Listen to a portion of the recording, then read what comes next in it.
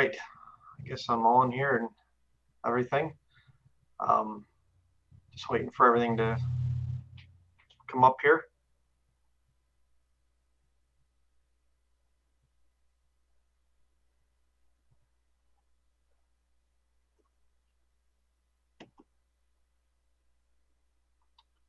All righty. Well, I guess good morning, evening, afternoon, good night, whatever it is, wherever you are. Uh, interesting, you know, tool we have here nowadays with the internet. Uh, people from all over the world can tune in, so that's really neat. So hopefully everybody's been having a good week. and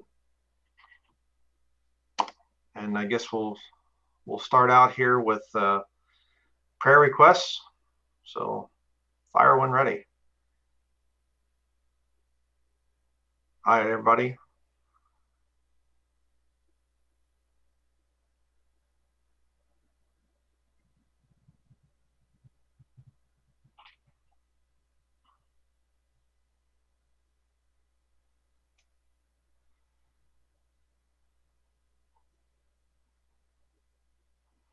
All right. There you go. Yeah, you can you can submit questions later. Right now, we're just going to do prayer requests, and then we do the study, and then after that, then open up for questions. Um, all right, get my wife off thyroid meds. Um, wife.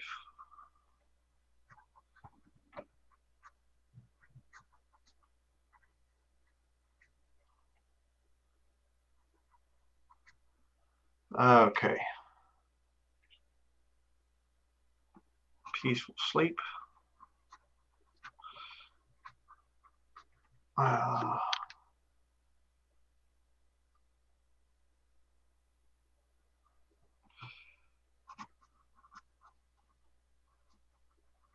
video game addiction.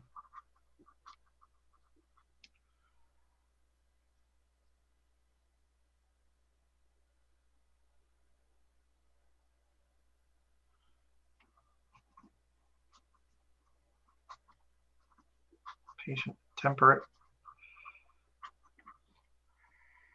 Uh,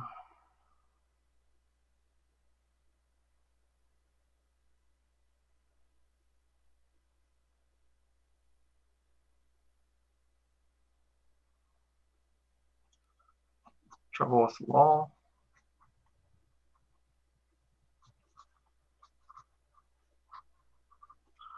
Okay, yeah, we I don't we haven't been to the post office in a few days, so I'm not sure um, what that would be.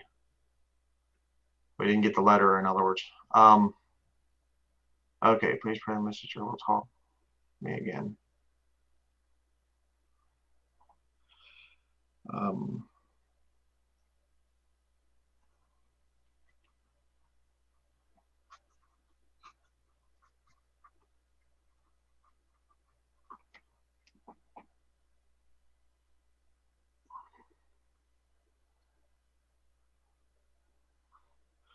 Okay.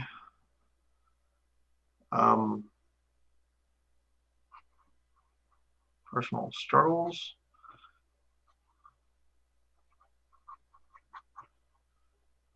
And son out of public school. Okay, got yours, Ada. Um, because pray for Lord finds me a way to stay home and protect myself off grid and as possible. Um,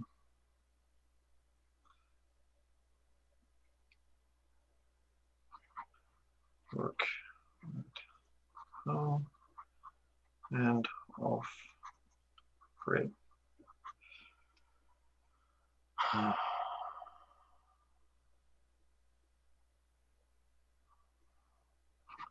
I'll go with Parkinson's and blood disease and blood disease.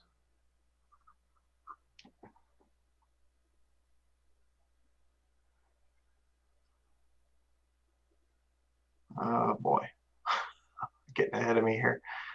Um, please, please pray for me, my one-year-old daughter and our baby as we look for a new home.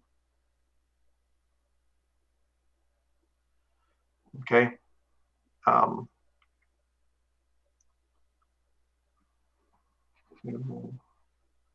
um, for Natalia and children. Sorry if I'm missing any here. I'm trying to go through these quick. Um, Catholic family members.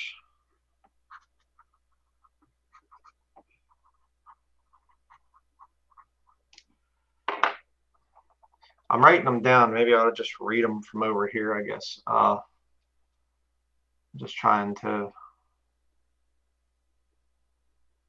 I'm used to writing things down. I concentrate a little bit better that way. Um,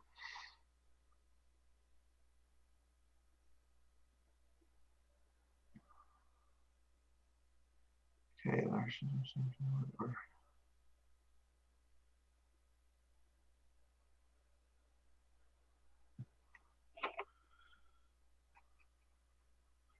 more Christians come of churches. Got it. Find a new job and protection for my daughter. She only has me and all from witnesses. Thank you. Um,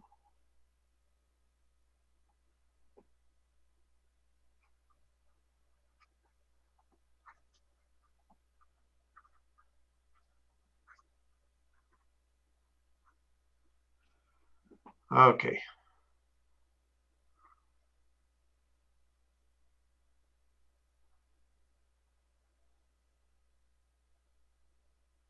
Good. That's good to hear, brother. That's really good to hear. That everything went well and that she was safe. Prayer request from last week. We prayed for Brother Charles last week.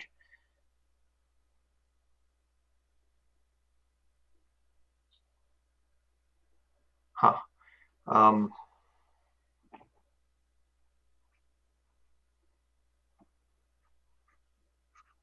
Seven-year-old Abigail birth deformities.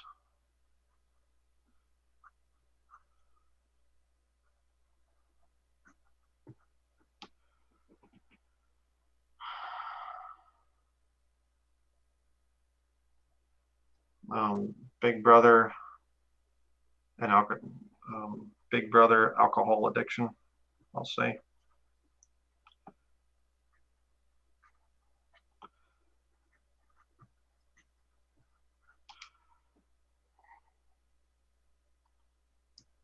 So, okay.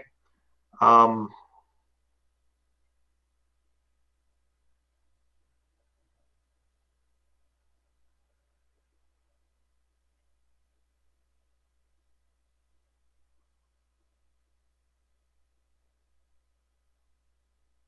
hmm. Hmm.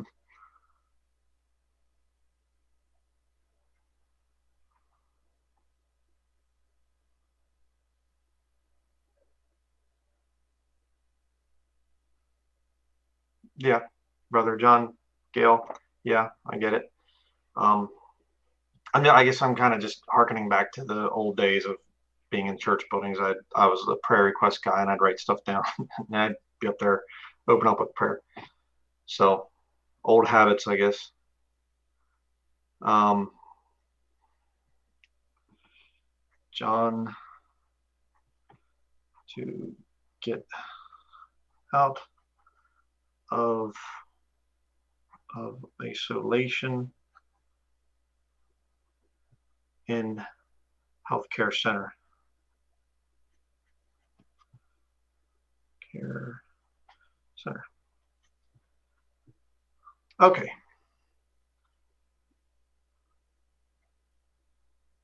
And you know, I think it's good for all of us, you know, to really make a little list of things, just basics, so we can just pray for each other throughout the week.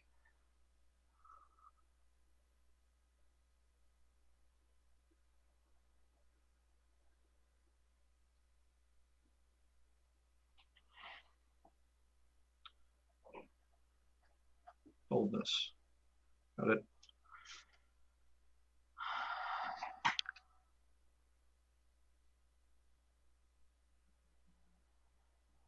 Um,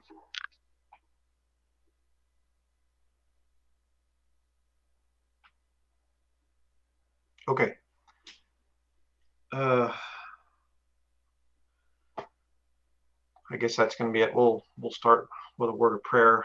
Um, so okay, um, not going to be taking any more requests here. We're going to get to praying for it, and then I'll say a few things, and we'll get into our study today. So, excuse me. Um, let's go to the Lord to the Lord in prayer.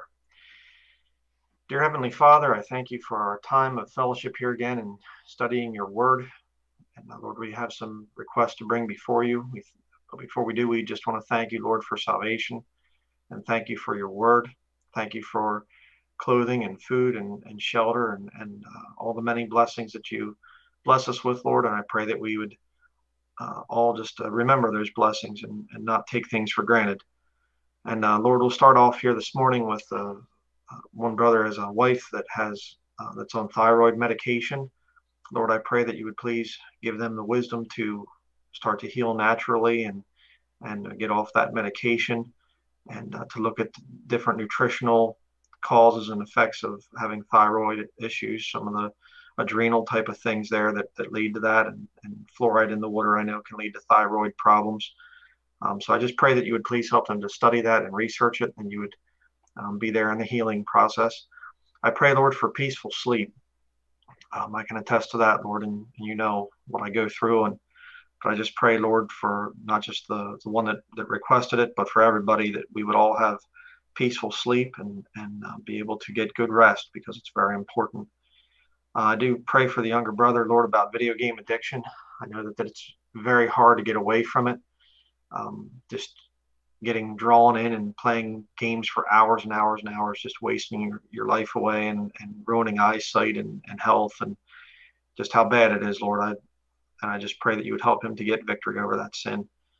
Um, I do pray, Lord, also for the for who was that uh, prayed and said or, or, asked for prayer for them being more patient and temperate in their life.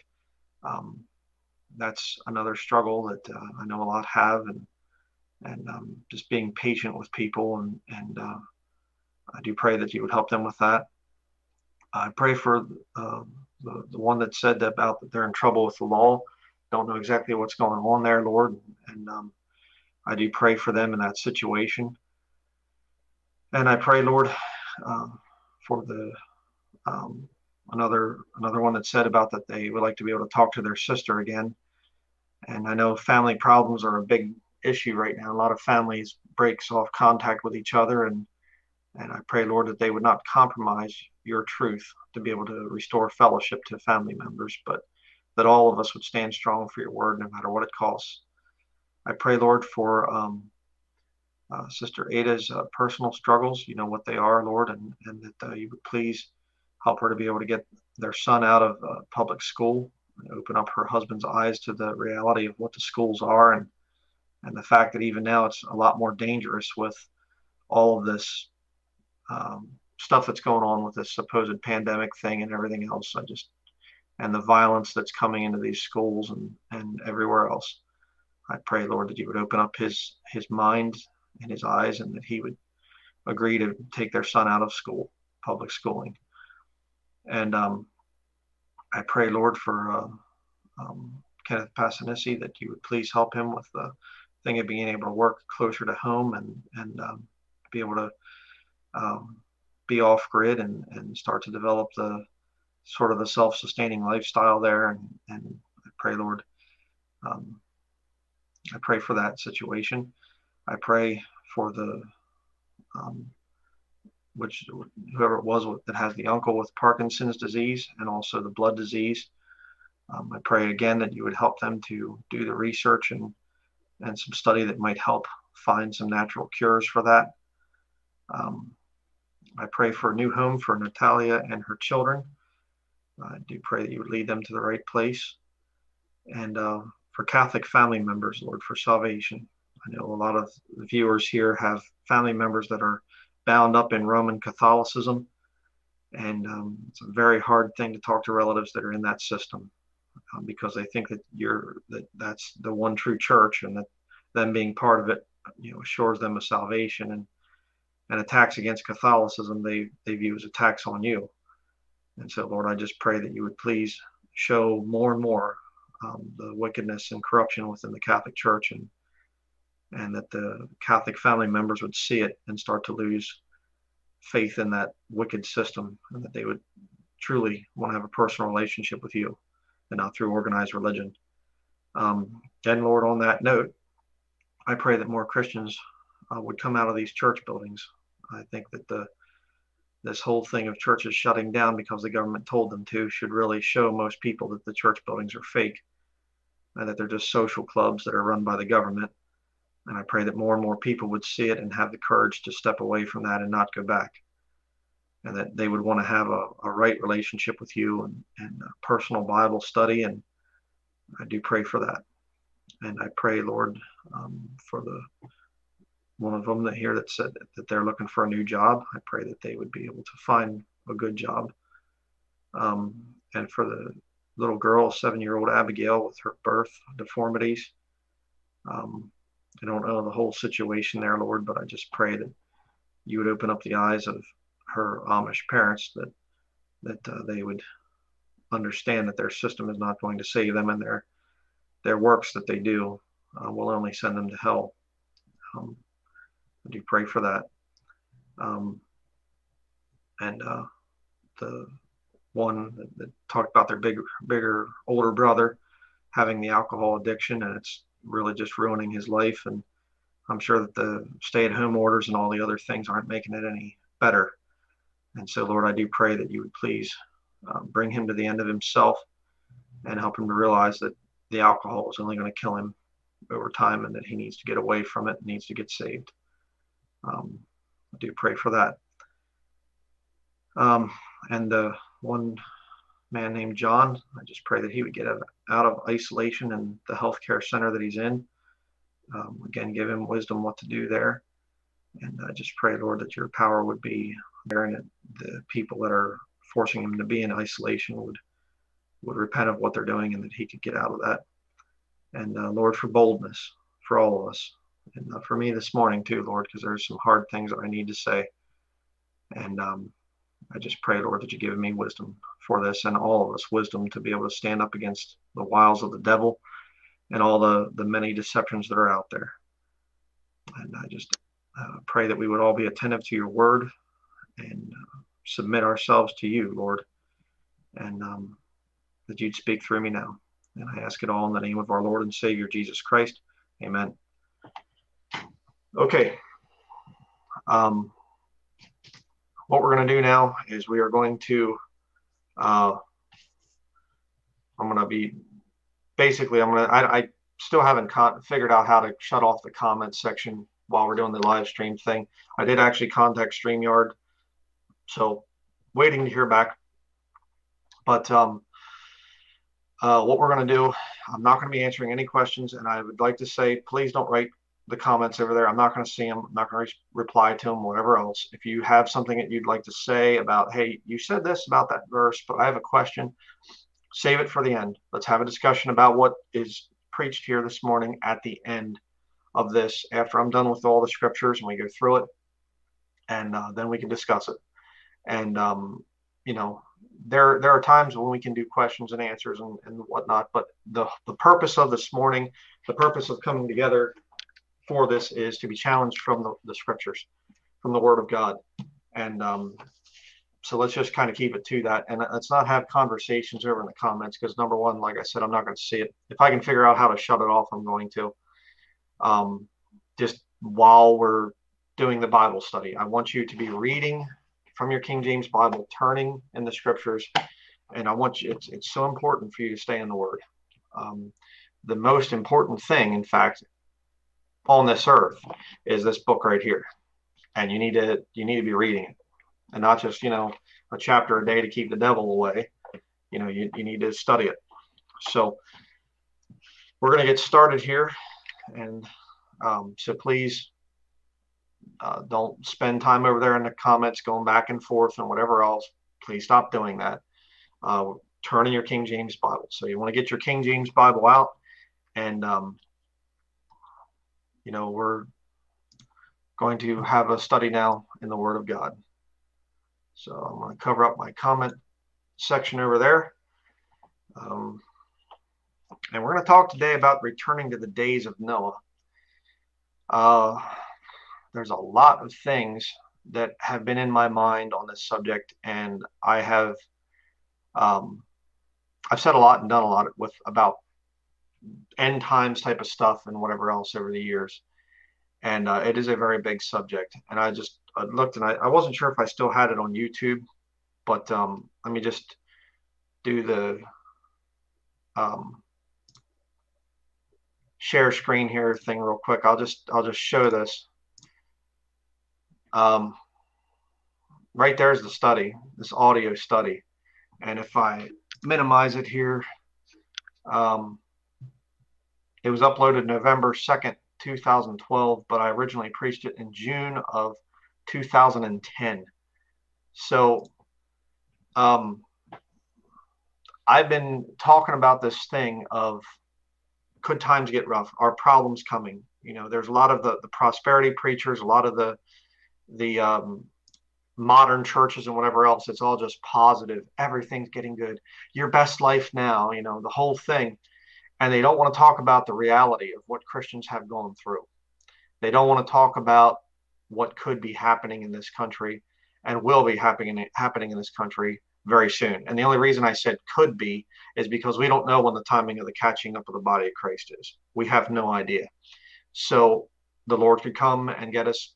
I do believe in the imminent return of Jesus Christ, but I will never ever teach that it'll never get rough and that there will never be a problem and everything's just going to be a we could just just happy satin pillow sitting on a satin pillow, you know, nice times. Um, and I'm going to go through some of the prophecies of the end times and see what we are heading into. And I'm doing this because I love you as my brothers and sisters in Christ. And there's going to be some rough things that are going to be said. Get ready for it. But there's going to be a positive ending to this because I'm going to give you some solutions that I myself I have to I have to take my own advice before I can preach it.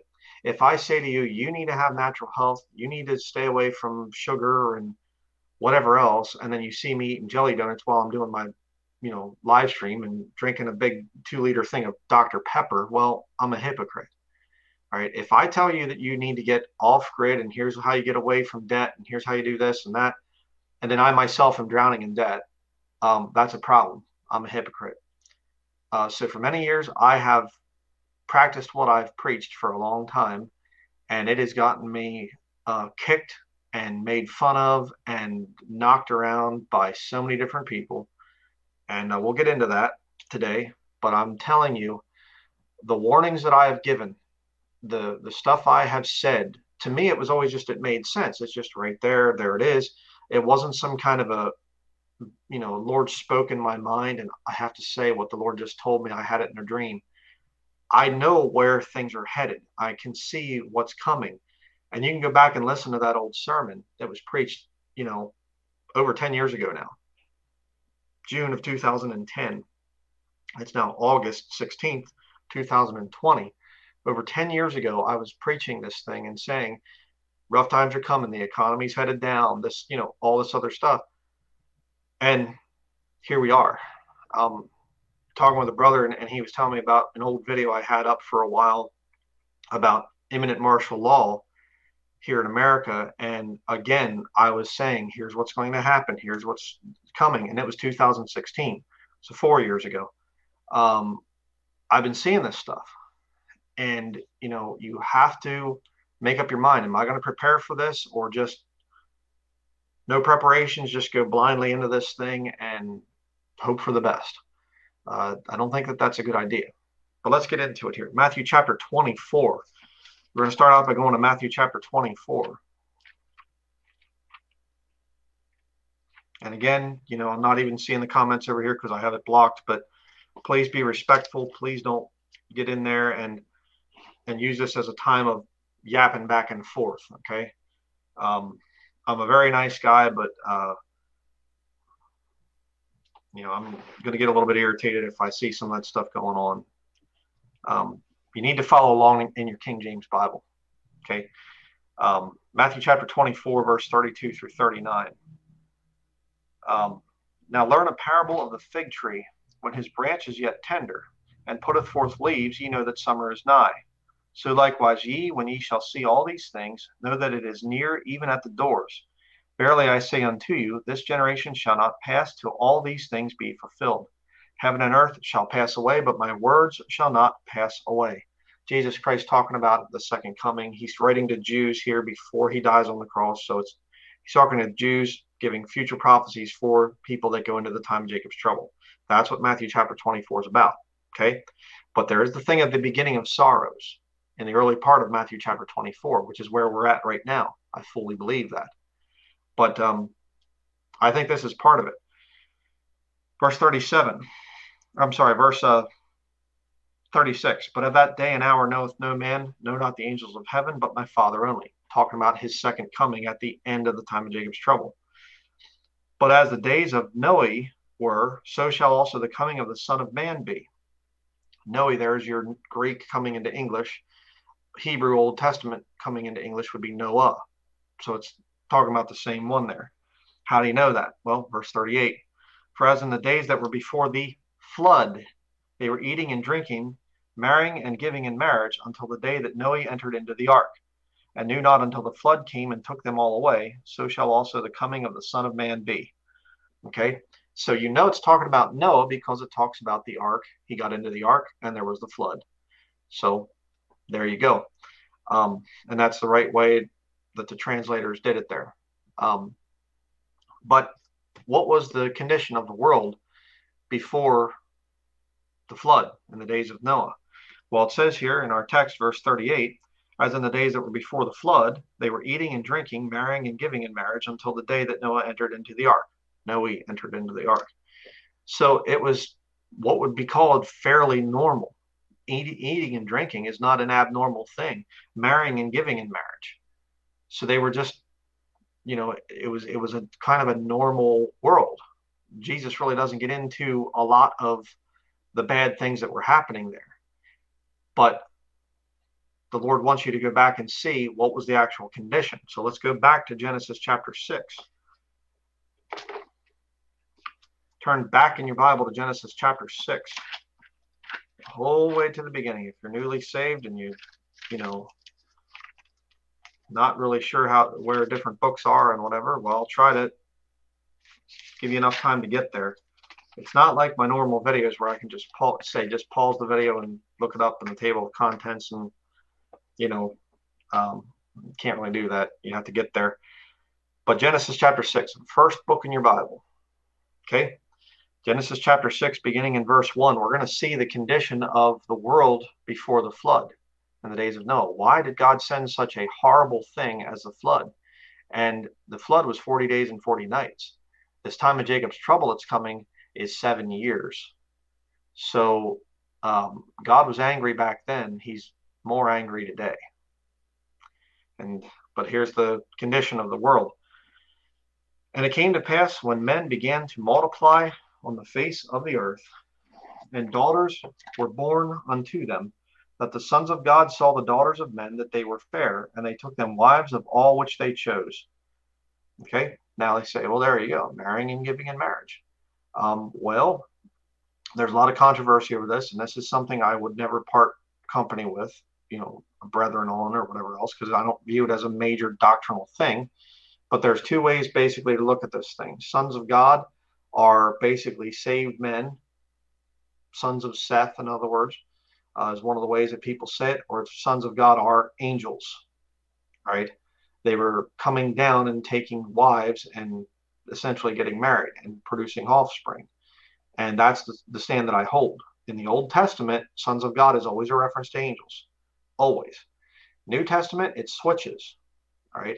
You go to First John, it talks about now are ye the sons of God. It doesn't say, you know, hey, um, the sons of God, you know, saved people have always been the sons of God. No, it's it's a there's a disclaimer there. Now are ye the sons of God. Okay, I think it's First John chapter three, if I remember correctly. You can look it up. It's in First John. not going to go there for sake of time, but you go to Job, and you'll see the sons of God there, and they're appearing before the Lord, and Satan comes in among them. So you're talking about angels, and it, and then it talks about later on in the book of Job. Um, and I do have a study on this, so you can get into more. You know, angels, what are they? Is what the study is called. So I'm not going to cover it here, but you go to later on in the book of Job, and the sons of God are singing, they're shouting for joy when the earth is being created. Well, then they're not the sons of Seth. Okay. Um, so it's a very important distinction there. Again, it's important because it's what the Bible says, but I'm not going to break company with somebody if they disagree with me. Okay, we'll talk about this as we continue. Um, verse 3 And the Lord said, My spirit shall not always strive with man, for that he also is flesh, yet his days shall be an hundred and twenty years. And, you know, this is a pretty big thing because, you know, back then before the flood, they were living over 900 years on average. Methuselah lived uh, 969 years. I think Adam lived 930. So they were living well over 900 years. And the Lord says, I'm going to cut it down to 120. That's a pretty big, you know, cut in the amount of time that you live. I mean, a lot compared to most people today, the average age today. But uh, they were living in a much pure world back then. But look at verse 4. There were giants in the earth in those days and also after that. So there's after the flood, there's still giants. Okay. And again, I'm not going to get into a big thing on that. There's people that claim that the giants are still around and they're being covered up by the military and whatever else. No idea.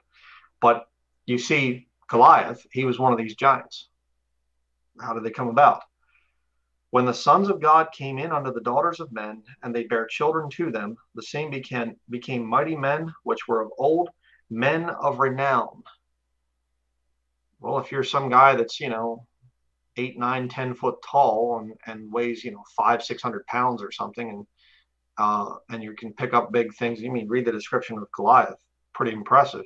You'd become a mighty man, a man of renown, definitely. Um, so you're having uh, this these sons of God, and they're producing, you know, children that are giants. Now, if they're just sons of, of God in terms of you know the sons of Seth or whatever, how are they producing giants? That doesn't make any sense. That's why, again, I believe it's angels coming in unto the daughters of men. You say, what's this mean? Let's continue. Verse 5 And God saw that the wickedness of man was great in the earth, and that every imagination of the thoughts of his heart was only evil continually. Perversion, namely sex perversion, is an evil thing in God's sight. And you have sodomy. Sex perversion always gets worse. When you accept certain sexual perversions, then it goes to this one, and then it goes and it gets worse, and it gets worse, and it gets worse. You know, sodomy. Now that's accepted by people. Now they're saying, well, you know, there's some people that are they struggle with, you know, being attracted to children, adults being attracted to children. Oh, you mean pedophiles? Well, you know, we don't really want to use the term pedophile, and and you know, there's all this gender neutral and all this other stuff. It's getting worse. That's the nature of perversion. And you and I know if angels made themselves known and said, Hey, I'd like to marry a woman or whatever else, you know, women would be lined up for it. I mean, they've already made movies in Hollywood about it. You know, I, again, I did my study on the angels. What are they? And I played a, a clip of uh, Meg Ryan and, and Nicolas Cage, I think, were in this movie called The City of Angels years ago. And they were promoting angels and women mating. You know, and and uh, I forget the exact line, but I, I played it in my sermon from many, many years ago. And Meg Ryan, the character, she says, I wouldn't want to worship a God that would say that this is wrong or something like that. You know, and this and this angel, uh, he had to give up his angelic state to be able to come in and marry this, you know, woman, this mortal woman or whatever else. Um, well, that's what the Bible says. They left their first estate. So um, we're getting close to that type of a thing happening again. But the the whole thing is God looks at it and he says it's wickedness. And you study the book of Leviticus, where they're going in, the children of Israel are going in and just and Lord saying, kill everybody, wipe them all out in that country. It's because of sex perversion. sex perversion will destroy somebody's mind. It's a horrible, terrible thing. Um, God did not design those things. It's not, oh, it's an alternative lifestyle. No, it isn't. No, it is not. But there's a second thing that uh, the Lord did not like back then. Let's keep reading. Genesis chapter 6, verse 6. And it repented the Lord that he had made man on the earth, and it grieved him at his heart. And the Lord said, I will destroy man whom I have created from the face of the earth, both man and beast, and the creeping thing and the fowls of the air, for it repenteth me that I have made them. But Noah found grace in the eyes of the Lord. These are the generations of Noah. Noah was a just man and perfect in his generations, and Noah walked with God. And Noah begat three sons, Shem, Ham, and Japheth. Okay? So there are still righteous people in the midst of how bad the world is and whatever else. Back then, it was Noah and his family. Not very many people. Do you ever feel like that? Do you ever feel like, boy, I don't think there's many other people around that are that are saved and born again? Yeah, it's frustrating. I mean, you, you meet somebody and I'm a Christian, and you think, oh, finally, I met another one. And you get to talking to them and you realize, oh no, I don't think that they're a Christian. Oh, great. You know, they don't believe in the, the King James Bible being perfect. They they aren't they don't take a stand on this, they don't take a stand on that. And oh man. We've all gone through that. Um, but look at verse 11. Genesis 6, verse 11. The earth also was corrupt before God, and the earth was filled with violence. You know, perversion leads to violence because it's an unnatural affection. Hey, um, if you have a wife and children, if you're a man, uh, you don't want to be violent. You don't want to pick fights. You don't want to get out there and make trouble because yeah, I, I got a wife and children at home. I don't want to think about this bad stuff. I'm not going to pick fights with anybody. You're a woman and you have some children to think about and whatever else. Hey, I, I don't I don't want to get into fights and whatever. But you get somebody and they're just going out there and just whatever thrill, whatever, you know, I'll do what it if it feels good, do it. Hey, they can become very violent, and they do. Verse 12 Then God looked upon the earth, and behold, it was corrupt, for all flesh had corrupted his way upon the earth. Um, now, let's go into positive uh, Christianity mode oh, I think God has a great plan for this world. And I think God, God's not done with America yet. And, you know, all of us can see how it, how it goes. You get these guys that say that stuff, they're lying to you because they're after your money. Um, and you know it's it's rough being a preacher because you know people want to hear good news and you want to give them good news but the scriptures are plain it's going to get worse you go to the new testament Evil men and seducers shall wax worse and worse, deceiving and being deceived. The time will come when they will not endure sound doctrine. And they, in the last days, perilous times shall come. On and on and on.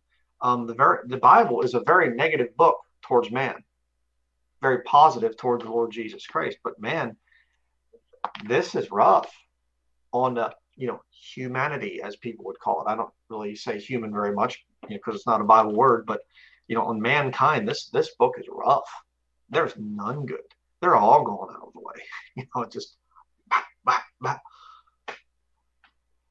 yeah. Um, so what's the future? Good or bad? Bad. Unless we can get Donald Trump reelected, then it'll be good. Uh, no. Uh, well, maybe Joe Biden will make things, but no. Um, your election's coming up in whatever country that you're in um, we're gonna we're gonna vote in the right people, and then we'll restore the republic. We'll bring back you know freedom and and, and no, we won't. No, we won't. So how do we react? How do we what do we do in this time? That's what this study's about. But I just I need to I need to go over some of this stuff because the prophecy of Jesus Christ is it's going to be like the days of Noah before he comes back. So what are the two big things of the days of Noah sex perversion and violence. That's what's going to happen. And as we go through this study, we're, you know, we'll talk a little bit more about this. But if you're seeing anything at all with the news, I know I've seen some of you in the in from other countries saying you're standing back and just watching America destroy itself. Exactly. Um, no country can get away with what America's gotten away with. I mean, even even if you are the most raging atheist, don't believe the Bible for one second, whatever else, just pure secular economics. Um, when you have a country that's spending trillions and trillions of dollars, unemployment, uh, jobless claims were coming in at over 1 million jobless claims every week for 21 weeks without end. That's not a good thing. Okay. Um, people are in forbearance because they can't even afford to, to pay their mortgage or their rent. Uh, the government has to print money to keep people from starving, and they, they give the money to the people, and the people go out and buy ATVs and, and sports cars and big screen TVs. You know, this nation is going to collapse, and soon, very soon. What do we do as Christians? Well, I just think, Brother Bryan, that the Lord's going to work it all out. I think it's going to come out good. Then I'm this sermon's for you. You have to realize reality. I have to realize reality. Um, I did a long time ago. So I was preaching about this stuff in 2010 as a single man. Two years before I even met my wife, over two years before I met, well, I shouldn't say over two years. Uh, because I met her in late 2011. So technically, you know, uh, two years, you know, before we got married, thereabouts. But I've been preaching this for a while. I've seen the handwriting on the wall for a long time. I've not been deceived into thinking that we can bring this country back. So, and I put a lot of things into practice. That, like I said at the beginning of this, you know, live stream thing here, I put a lot of things into practice that uh, got me made fun of you know, people made fun of me because of the stuff I've done over the years. But I've been doing these things so that I can tell other people about them. So, well, let's continue. Next, we're going to go to Isaiah, the book of Isaiah. If you're newly saved, you go back towards the New Testament. And uh,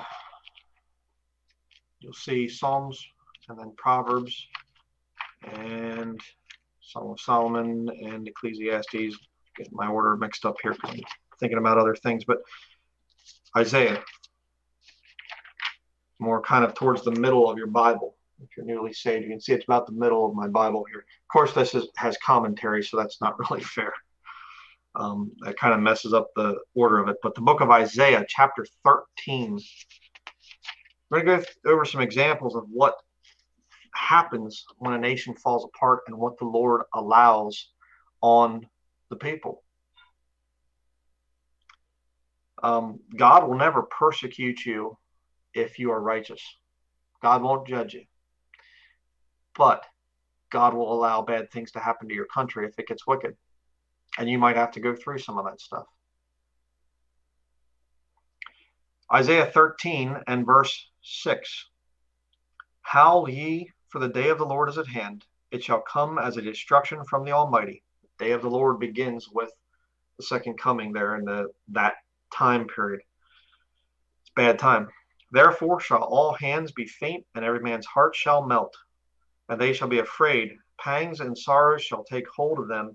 They shall be in pain as a woman that travaileth. They shall be amazed one at another. Their faces shall be as flames. Behold, the day of the Lord cometh, cruel, both with wrath and fierce anger, to lay the land desolate, and he shall destroy the sinners thereof out of it. Do we have sinners around today? Oh, yeah, absolutely. Verse 10. Um, For the stars of heaven and the constellations thereof shall not give their light. The sun shall be darkened in his going forth, and the moon shall not cause her light to shine. You can compare that to Matthew chapter 24. You'll see it there. Verse 11 And I will punish the world for their evil, and the wicked for their iniquity, and I will cause the arrogancy of the proud to cease and will lay low the haughtiness of the terrible. It just it amazes me. America goes through some kind of judgment of the Lord, and, and they say, We're America strong. We're proud to be Americans. And I'm thinking, oh man, do not say that. Power of pride. I remember after 9 11, people bumper magnets or bumper stickers, power of pride. And I used to think, what does that mean? It doesn't mean anything. I'm, I'm a proud person. Oh, okay. It's ridiculous. Verse 12 I will make a man more precious than fine gold, even a man than the golden wedge of Ophir. Uh, another way to say that is your gold's going to be useless in the future. I, I, I, love listening to some of the economists out there. I learn a lot from them, but they just go back to gold and silver. Gold and silver. That's the safe haven. No, it's hmm. not. Go to the book of James, and the, the rich men are weeping and howling and, and things because their gold and silver is worthless digital currency, they can they can eliminate the value of, of gold and silver. I mean, if you've been following the gold and silver market, it's been manipulated for years. But all of a sudden, the manipulation will stop in the future when they have digital currency, you know, cryptocurrencies and things. Yeah, right. No, it won't. Uh, gold and silver is not a safe haven for your money, not at all. Um, verse 13 Therefore, I will shake the heavens, and the earth shall remove out of her place in the wrath of the Lord of hosts, and in the day of his fierce anger. And shall be as a chased roe, and as a sheep that no man taketh up. They shall every man turn to his own people, and flee every one into his own land. Every one that is found shall be thrust through, and every one that is joined unto them shall fall by the sword. Thrust through? Killed in the streets, in other words? Their children also shall be dashed to pieces before their eyes. Their houses shall be spoiled, and their wives ravished. Berlin, after World War II, Russian soldiers came in and they raped every woman they could find. Were they all lost women that got raped? Ravished is your Bible word? Or were there, were there some saved women that went through it? The Lord's writing about his people, Israel. rough. Verse 17 Behold, I will stir up the Medes against them, which shall not regard silver, and as for gold, they shall not delight in it. Oh, you have silver and gold? I don't care. What does that mean? I want your other things that you have. Verse 18 Their bows also shall dash, dash the young men to pieces, and they shall have no pity on the fruit of the womb. Their eye shall not spare children. Look at what the uh, uh, uh, Ustashi did in uh, Croatia and Yugoslavia during World War II. Just horrible, just terrible stuff that they were doing to to women and children, and just bad. Taking Orthodox Serbian people and cutting their heads off with crosscut saws. Look at the head we got here. Catholic, Ustashi. Um, just doing stuff like you can't even fathom. I did a the Vatican's Holocaust by Avro Manhattan. I did a book review on my secondary channel. Unreal. You say, well, yeah, but brother Bryan, things have changed. Um, that was in the 1940s, less than 100 years ago. Oh, Oh, but it, it won't happen here.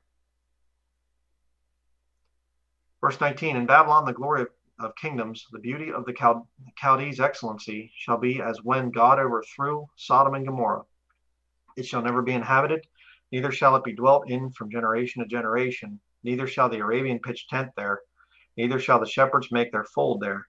The wild beasts of the desert shall lie there, and their houses shall be full of doleful creatures, and owls shall dwell there, and satyrs shall dance there. And the wild beasts of the islands shall cry in their desolate houses, and dragons in their pleasant palaces and her time is near to come, and her days shall not be prolonged. Um, I've already seen it here in northern Maine. Um, the economy is already shot here. Uh, there's people that are just abandoning their houses right and left. That's what I talking about.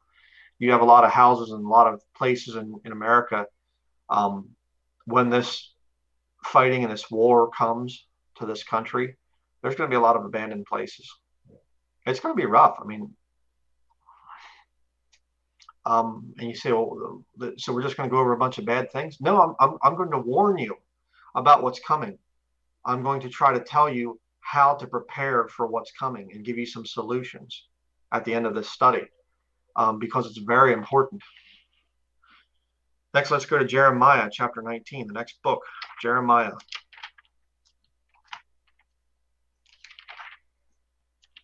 I just, I need to destroy the myth of just everything's good and everything's wonderful.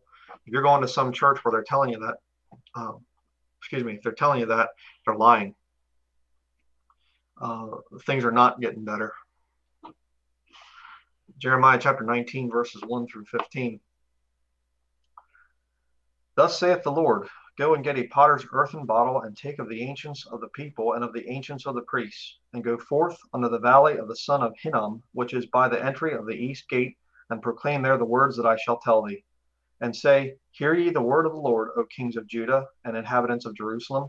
Thus saith the Lord of hosts, the God of Israel Behold, I will bring evil upon this place, the which uh, whosoever heareth, his ears shall tingle, because they have forsaken me and have estranged this place, and have burned incense in it unto other gods, whom neither they they nor their fathers have known, nor the kings of Judah, and have filled the, this place with the blood of innocents.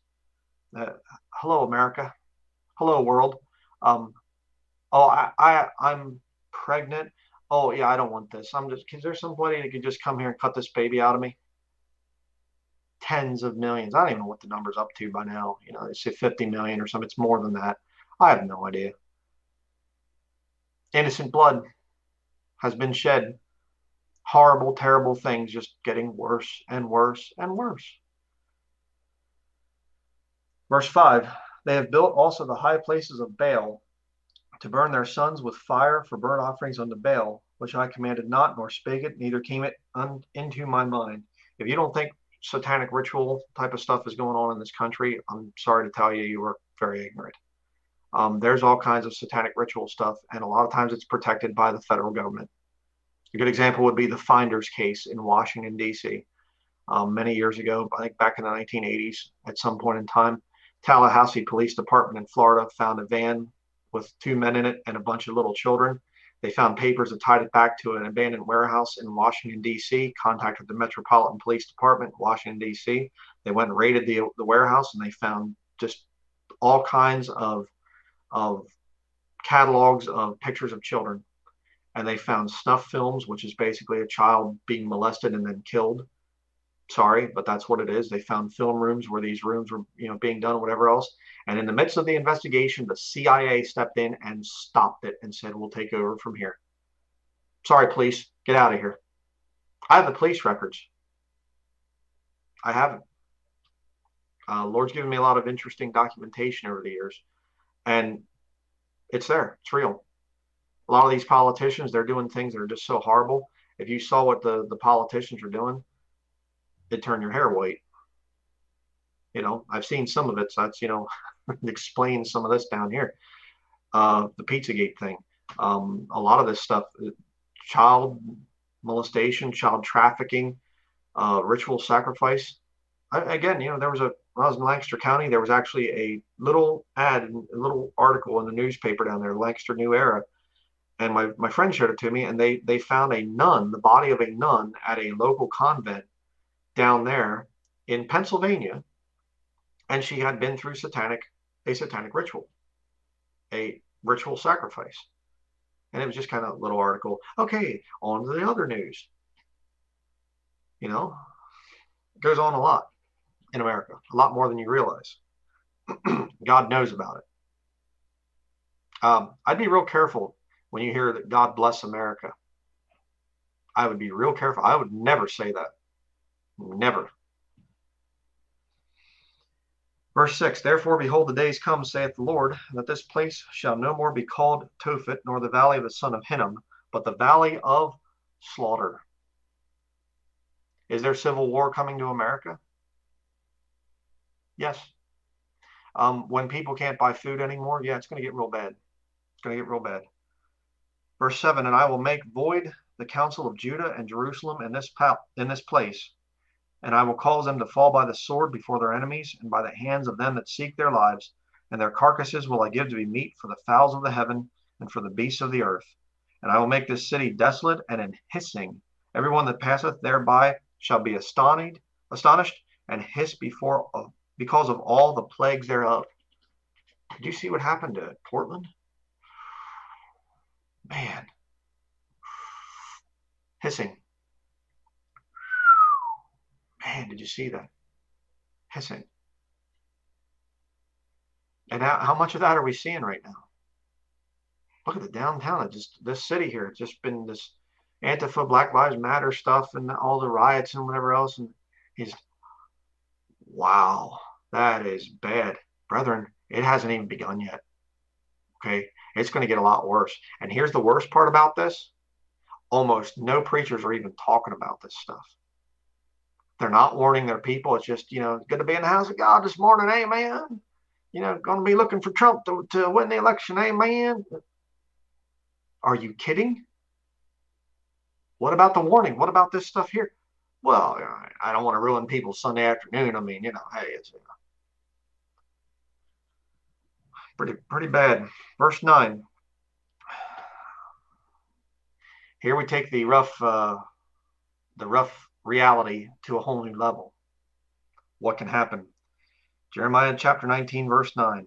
And I will cause them to eat the flesh of their sons and the flesh of their daughters, and they shall eat every one the flesh of his friend in the siege and straitness, wherewith their enemies and they that seek their lives shall straighten them.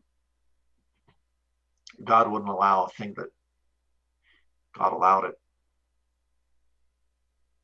So we, I, I can't imagine being that way okay, uh, go without food for a couple weeks and see how you do. There's no food.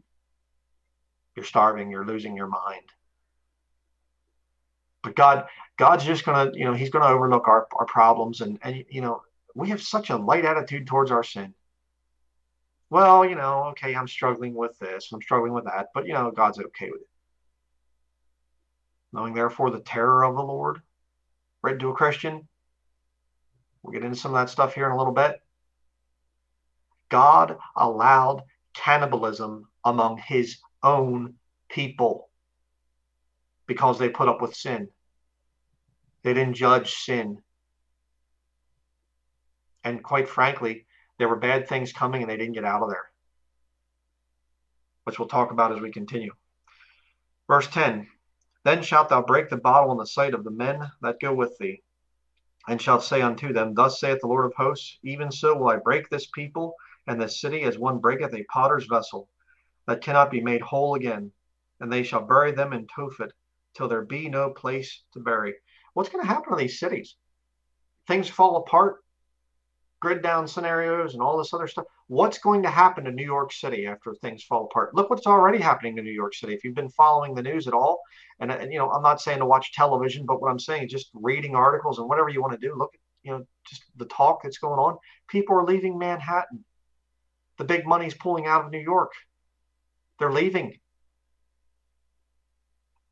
People are fleeing the city. That's smart. It's a smart thing to do. You better get out of New York City if you're still there you better get out of whatever city you are in if you're still there. It's going to be bad. Why? It's going to get so bad, they shall bury them in Tophet till there be no place to bury. Are they going to bury all these dead bodies that are going to come in the future? No food. Hey, coronavirus is bad. It's so bad. We can't even have the uh, meat processing factories open.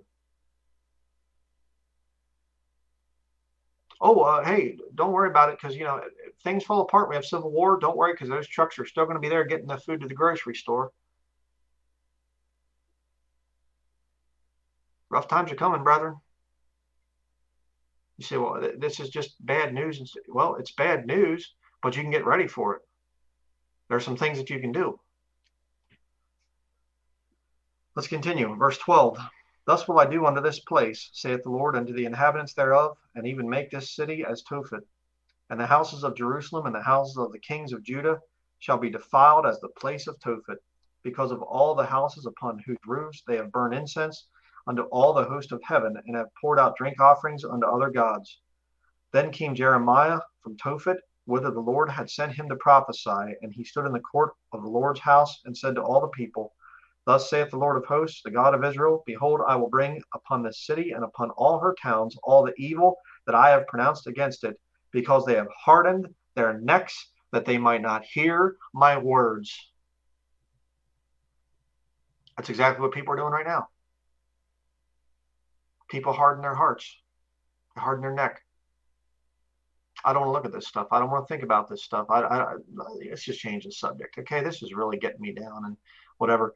Um, Part of when the Lord convicts you of sin, part of when the Lord says, hey, you know what, this is wrong, stop doing it, is He's trying to turn you in a different direction. All we like sheep have gone astray. We're sheep. You get it? Sheep are stupid. Face it. Look at yourself in the mirror. Look at yourself as God sees you. Sheep are stupid. I have scars on my body because I'm stupid. And God tried to warn me about things and say, son, please don't stop doing that. Uh, turn. And finally, he just had to turn. You're going in the wrong direction. That's part of what this study is about, brethren. Bad times are almost here. I've been warning about it since 2010. Trying to turn you, trying to say, hey, I'm trying to warn you people. And I get made fun of. Not all of you. I, I get it. Friends in the Lord, and I, I love you in the Lord and everything. But I get a lot of the people out there, including people I used to respect and whatever, they make fun of me. They laugh at me. They think there's a joke. I'm trying to warn you.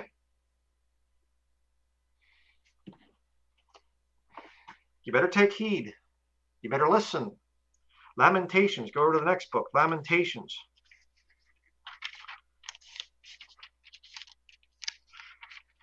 Lamentations chapter 1. I'm going to read the first three verses.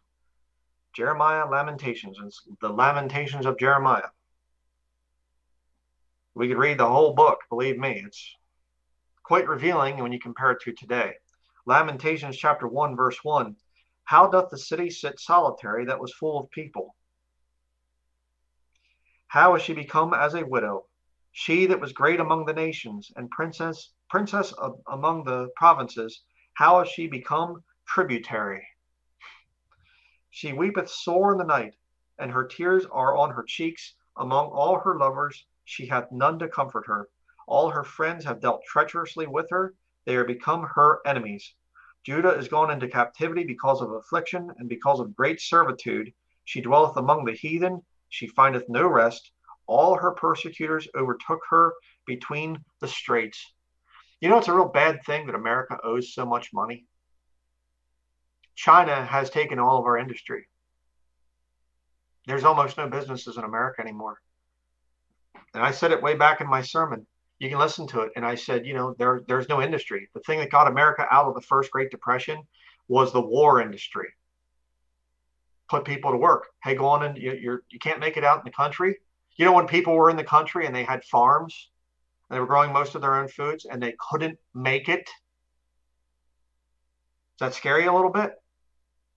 How much food do you grow? Could you sustain yourself without grocery stores?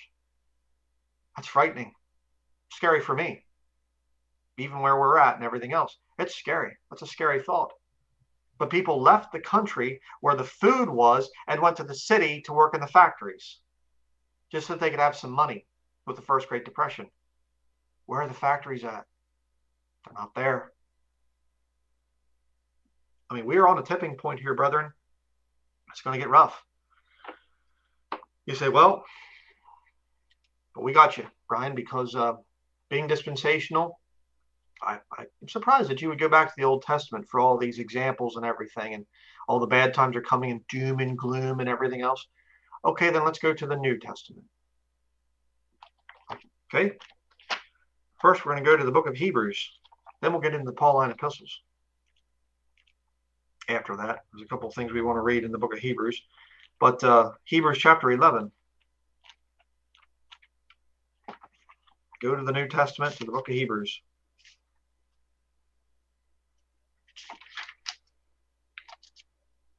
See, well, that, that bad stuff just happened back in the past. It's not going to, there's no future fulfillment. There's no, we're in a V shaped recovery. We're coming back things are getting better. We're going to have more jobs in the future than we know what to do with them. Let's look about that. Hebrews chapter 11, verse 32. And what shall I more say? And this is referring back to Old Testament times. So, but we'll see about this. And what shall I more say? For the time would fail me to tell of Gideon and of Barak and of Samson and of Jephthah, of David also and Samuel and of the prophets who through faith subdued kingdoms, wrought righteousness, obtained promises, stopped the mouths of lions, quenched the violence of fire, escaped the edge of the sword, out of uh, weakness were made strong, waxed valiant in fight, turned to fight to fight the armies of the aliens. Doesn't mean they were fighting people from Mars. Okay, let me just say that. If you're newly saved, you don't get that. Aliens just means people from other countries coming in, illegal aliens type of thing. Verse 35 Women received their dead raised to life again. You say, oh, that stuff sounds good, though, Brother Bryan. Keep reading. And others were tortured, not accepting deliverance, that they might obtain a better resurrection. Think about that one. And others had trial of cruel mockings and scourgings, yea, moreover, of bonds and imprisonment. They were stoned. So I'm reading to here. They were stoned, they were sawn asunder, were tempted, were slain with the sword. They wandered about in sheepskins and goatskins, being destitute, afflicted, tormented, of whom the world was not worthy. They wandered in deserts and in mountains, and in dens and caves of the earth. And these all, having obtained a good report through faith, received not the promise, God having provided some better thing for us, that they without us should not be made perfect. They didn't even have the salvation that's available today through Jesus Christ. And I believe the book of Hebrews is written to a Jew in the time of Jacob's trouble. They don't even have it as good as we have it right now, but they'll still have the promise of Jesus Christ. They'll still have the promise hey, you only have to go through seven years of this. All right. But what about us? How many years do we have to go yet before the Lord says, Come up hither? What about Christians back through church history? Something really to think about. Revelation chapter 1. Go over there to the book of Revelation. We'll be coming back here to Hebrews chapter 11. But Revelation chapter 1, because see, Hebrews is it's that passage there in the later part of chapter 11 is talking about what was going on in the Old Testament. But now let's bring it into what's going on here in the first century and what's coming for us. Revelation chapter 1, verse 9.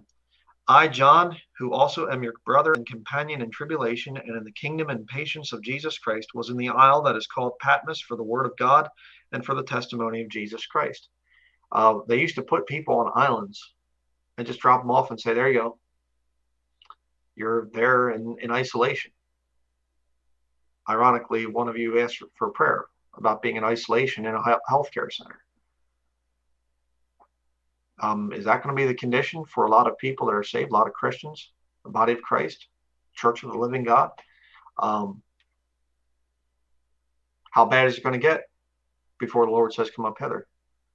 Knew a brother uh, many years ago, back when we actually had our uh, house church, Bible Believers Fellowship, back there in 2010, right around the time I did that study.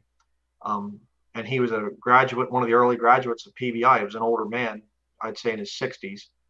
And uh, he told me the one time, he said, I believe the New Testament's going to be, for the church age, he said, I think it's going to be a circle. We started out being persecuted and hunted down and having to flee and whatever else. And he said, I think it's going to be just that same way before the rapture happens. Is he right? I don't know. I have no idea.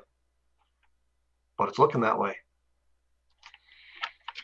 Let's go back to Hebrews chapter 11. And we're going to get into the Pauline epistles here in a couple minutes. So hang on for that. Hebrews chapter 11, verse 1. And you're going to see this thing, it's all tying into the, the subject of faith. Uh, faith is a big part of this. Hebrews chapter 11, verse 1. Now, faith is the substance of things hoped for, the evidence of things not seen. Um, when is the Lord coming back? When's the rapture going to happen? Do you know? No. Can I tell you? No. I don't know. Do you have faith it's going to happen? Yes. That's our hope. The blessed hope the Bible calls the catching up of the body of Christ. That's our hope. Jesus Christ is our only hope. Um, as we know, it's not going to work out in this world. But you have to live by faith. And I'll tell you right now, as time goes on, you're going to have to live a lot more by faith. You might not be able to go to the grocery store. You might not be able to go back to your job. They might start pulling off things. The face mask thing is, is just preparatory for what's coming next. Are you ready to have, have them turn you away because you're not vaccinated? Are you ready for that? Are you ready to be declared an enemy of the state? It's coming. It's going to happen. It's happened in the past. It's going to happen in the future. Are you ready? Verse 2 For by it the elders obtained a good report. Through faith we understand that the worlds were framed by the word of God, so that things which are seen were not made of things which do appear. By faith Abel offered unto God a more excellent sacrifice than Cain, by which he obtained witness that he was righteous, God testifying of his gifts, and by it he being dead yet speaketh. By faith Enoch was translated that he should not see death, and was not found because God had translated him. For before his translation he had this testimony that he pleased God. Um, that will be the case for those who get called up. We which are alive and remain shall be called up together with him in the clouds to meet the Lord in the air. First Thessalonians chapter four talks about that. We will be called up if you if you please God with your life. How do you please God? If you're just turning a blind eye to what's going on in the world and you're just saying, you know what, I don't want to get negative. I don't want to, you know, hear about this stuff. It's just, you know, it, it ruins my day or something. It's not pleasing God. And, you know, don't go the other direction either, where you're just miserable and, you know, just always complaining and griping and just living in fear and, and whatever. That's not good either. Okay. And I'm not, I'm not saying to do that. Please don't understand or don't misunderstand me here. There are solutions, ways that you can prepare. Right? If you're driving down the road and somebody pulls out in front of you, you don't just say, "Oh, this is unfortunate. Well, I don't want to think about this. I'm just going to keep going normal speed." No, you hit the brakes. You swerve. You see? Well, there's a bad thing happening in the future here. We're about ready to have a crash. I'll say that again. We're about ready to have a crash. You better hit the brakes. You better start to swerve.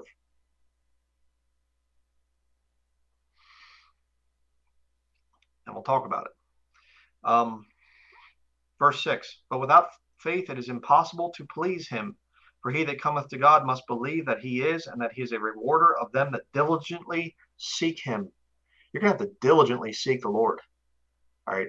I mean, you're going to, we're going to talk about this as we get in through this study. There are some things you really need to seriously consider now. Okay. Now. Time is running out for you to make the right decisions to start to escape some of this violence and this bad stuff that's coming, to start to think about solutions of ways to get away from forced vaccination and whatever else. We're going to talk about it. And you're going to have to live by faith. But look at verse 7. Hebrews chapter 11, verse 7. By faith, Noah, being warned of God of things not seen as yet, moved with fear are you being warned of God of things not seen as yet? Is, is forced vaccination here? No. Is it coming? Operation Warp Speed. We got to get these vaccines out there. Russia announces, Putin comes out and says, hey, we got the vaccine. We're experimenting with it over here. They're pushing it forward. It's not here yet, but it's coming. What about the economy falling apart? Things not seen as yet. But Noah, he sees it God's warning Noah, and Noah says, This is going to get bad. And the Lord says, Yeah, you get a little fear there? This could be real bad. Okay, Lord, what do I do? Noah, being warned of God of things not seen as yet, moved with fear, prepared an ark to the saving of his house, by the which he condemned the world and became heir of the righteousness which is by faith. Oh boy, get a hold of that prepared an ark to the saving of his house. Okay, point number one. Um, hey, bad times are coming. Can you prepare an ark?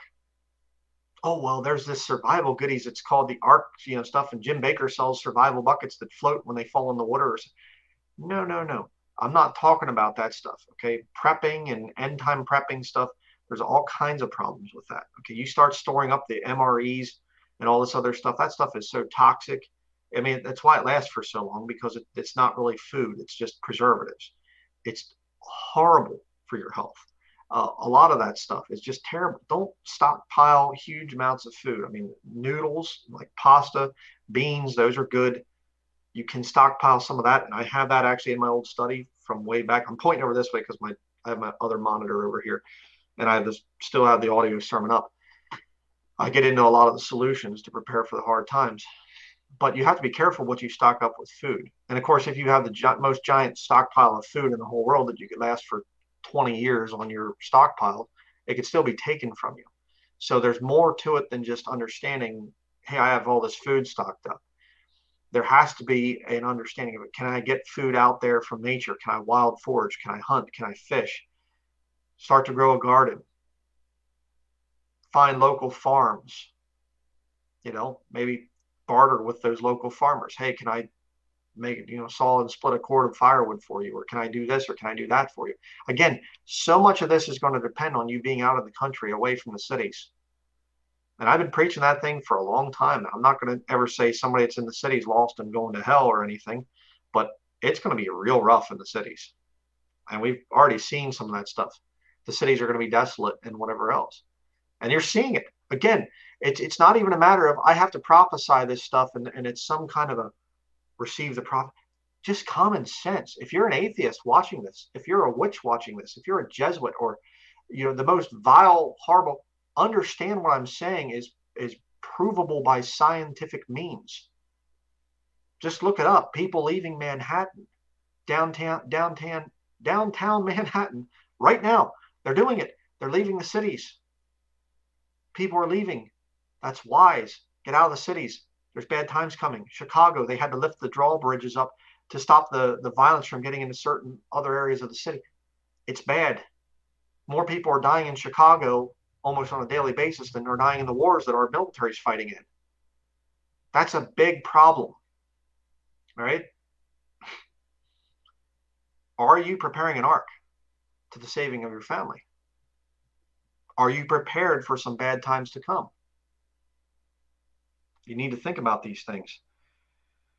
But notice what happened when Noah had that ark,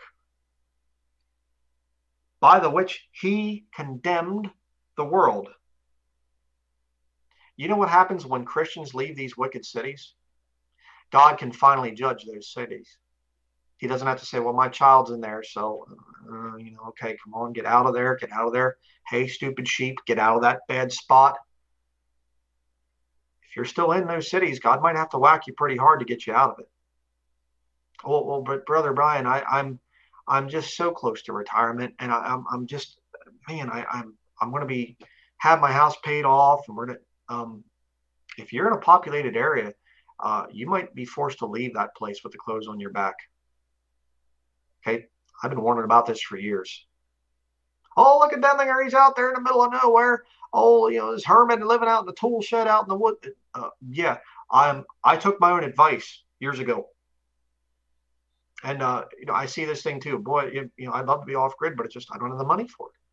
Uh, and yet I see people, lost new agers and other types of people on YouTube that sold everything that they had and they're living in a $1,500 U-Haul, driving it around the country, making a living at craft fairs and whatever else. I mean, what, what do you think would happen to the body of Christ if, if everybody just said, you know what? I'm going to sell what I have. I'm going to live in my car. I'm going to live in a van. I mean, you don't have to be homeless or anything, but I'm saying – sell what you have, downsize.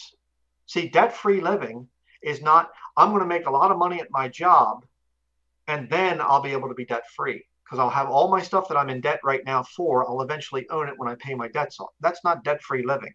Debt free living is my life does not work right now. Let me start over. Let me go back and, and push the restart button. That's what it is. And I can speak from experience. I had almost no money at all when I first got married. We were living, you know, my wife when she first came in, into my life, we lived at my parents' place for a little while. It was terrible. Then we moved up. The, uh, we had an offer to move in, you know, this little shack uh, up in northern northwestern Pennsylvania, and it was uninsulated. I mean, there was mice running across the floor. The water would turn yellow after a few minutes of using it. The water was awful. You, you know, you couldn't wash white clothes there because they would turn yellow. I mean, was you couldn't drink the stuff. It was terrible. It smelled like sulfur. Um, a bat was flapping around on the drop ceiling the one night. I mean, it was a rough place to live, and we went through the winter. No insulation. It was cold, um, bad. And then you know, we left there, whole situation. I'm not going to get into it. And I had a wood shop that I had built at my parents' property. It was 16 foot by 16 foot. And we moved in there for a couple months throughout the summer. We lived in a 16 foot by 16 foot wood shop. Okay, moved my wood tools out and, and moved in. 16 foot by 16 foot. Okay, put the rest of our stuff in storage. Uh, then after that, we moved to northern Maine in January to a house with no heat and no running water. You say, why'd you do all these crazy things? People have wondered that all these years. Why'd you do all that crazy stuff? So I can tell you how to prepare for bad times. Prepare an ark for the saving of your house. You have a debt, you have a mortgage, you have rent, you have this, you have yet. Study it.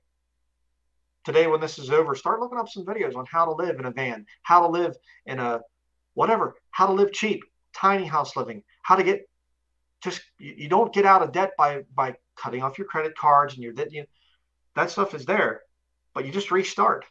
You say, okay, I'm gonna I'm gonna do a radical restart and say, okay, I'm gonna return myself to a homeless position. I bet Noah had a nice house. What's he building an ark for? You're gonna leave all your house and your real estate and everything behind? No, what are you doing? He probably had plenty of friends that came and said, No, you're going crazy. You build an, a, an ark? What happened to you if you have a mortgaged house and all of a sudden you start to build a tiny home on wheels? Or you get an old U-Haul truck in there and whatever else, and you, they're gutting it out, and your neighbors are looking over saying, What's this guy doing? We got our ambulance right out here today. Our old ambulance we bought, 1999 Ford ambulance.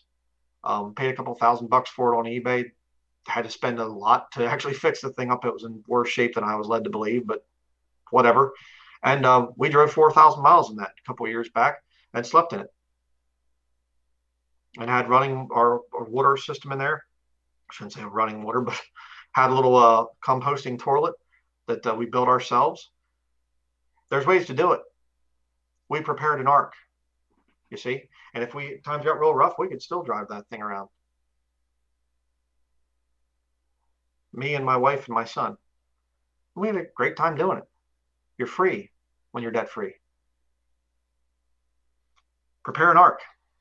And if Christians would do that and get away from the cities, get out of those places, what would happen? It would condemn the world. It would judge the world. And, and the Lord could say, okay, now these cities are just vile and wicked, and all my saints have gone out of those places. They're out where I can keep them safe and provide for them with uh, you know wild edibles and and wild caught fish and the game that you can hunt and whatever else and get get a little bit of land or something an acre or two of land and put a little garden on it or just go to farm stands and and buy fresh produce. You see? I'm warning you. I've been warning people for years. Go back to 2010 warning people. And i've been living the life and you will be made fun of. People will say that you're crazy, just like they did to Noah.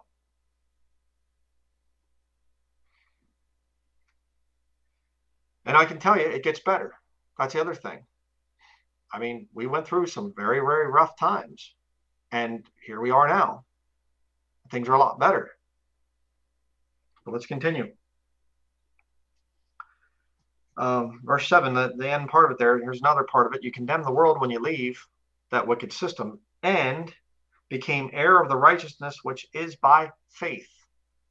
You get out, and now all of a sudden you can live a much better, more righteous life when you're away from the wickedness of the city. You get out on your own land someplace or out into the country somewhere.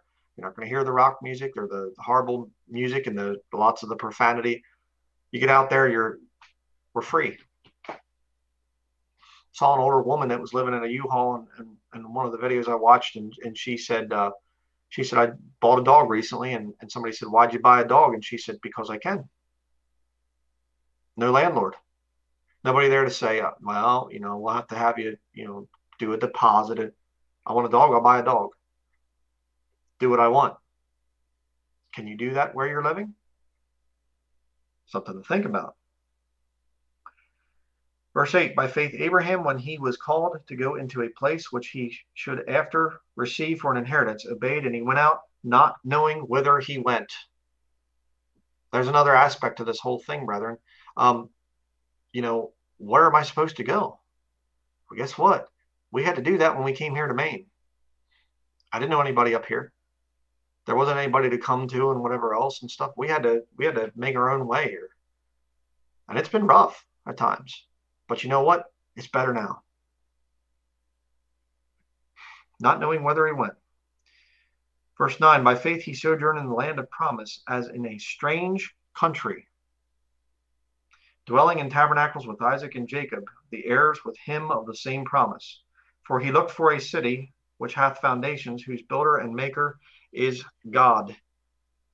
Through faith also Sarah herself received strength to conceive seed and was delivered of a child when she was past age, because she judged him faithful who had promised. Therefore sprang there even as of one, and him as good as dead, so many as the stars of the sky in multitude, and as the sand which is by the sea shore innumerable. These all died in faith, not having received the promises, but having seen them afar off, and were persuaded of them, and embraced them, and confessed that they were strangers and pilgrims on the earth. What happened? What what happened here? Body of Christ? Strangers and pilgrims on the earth? Son of man hath not where to lay his, you know, foxes have dens and things but the Son of Man hath not where to lay his head. Paul, we have no certain dwelling place. But all of a sudden, here in the modern times, Christians have abandoned all that. And now, how many times have we backed off from witnessing to people because we're worried about losing our job and then losing our home and then losing it? I speak this to your shame. I speak it to my shame. There have been many times where I've just kept my mouth shut because, well, I don't, want to offend the wrong people. You know what happened? I believe it's the church buildings. The church buildings buildings brought in this whole thing of well, we don't want to look weird anymore. We don't want to be the ones out there in the fields worshiping and you know meeting out in the woods and whatever else. And so, hey, the Protestant Reformation happened. So why couldn't we build our church buildings too? Well, we don't have the money. Oh yeah, we can go to the bank though. And all of a sudden you get debt but you got to look like everybody else. We can't be strangers and, and pilgrims in a country that we don't know. And we get comfortable and we, we get complacent.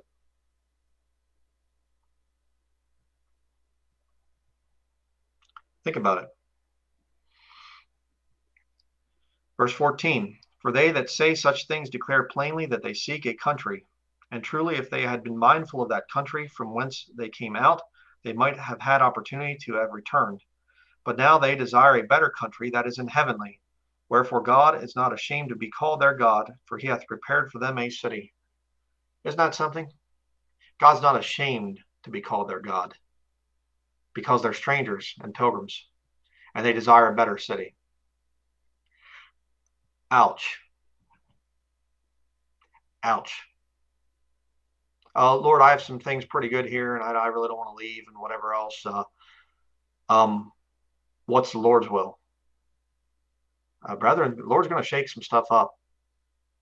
He is. And uh, if you're in a city situation in a place like that, um, might get pretty bad. You say, but you, brother Bryan, you still haven't gone to the Pauline epistles. Okay, let's let's fix that. Romans chapter eight. It's going to be a little bit longer study, so you know, we'll go as long as we have to. Here, if I have to go past the noon thing or whatever else, it's fine. Romans chapter 8, verse 35 through 39. Who shall separate us from the love of Christ? Shall tribulation or distress or persecution or famine or nakedness or peril or sword? You say, well, see, Bryan, what are we even worried about? There's nothing there. Let's just ignore the people that died in the past and the, the you know, the wars and things that happened and, and, you know having to run from the let's just ignore that. That's you know no we've never been separated from the love of christ. Is that what it's saying? No. How do you know? Keep reading. Verse 36 as it is written for thy sake we are killed all the day long we are counted as sheep for the slaughter written to a new testament christian see here's the point suffering will happen suffering will come but the Lord won't separate you from his love when you're going through it. The Lord loves you regardless. I mean, you can just ignore everything I'm warning about, warning you about today, everything I've warning, been warning people about for 10 years. 10 years ago, I did a study warning people, prepare for bad times. And I did that sermon because Peter Ruckman had preached a sermon about the coming economic stock market or coming stock market crash, is what it was called. And he was talking about that, how the child of God should get prepared for it. Probably in the 1980s, he he did that study. Preachers, the real ones, have been warning about this stuff for a long time and telling the American people, you better be careful, you better watch out, and other countries as well. You know, we're accounted for as sheep for the slaughter, brethren. Warning you. You ignore it, well, God can still love you. You're still saved.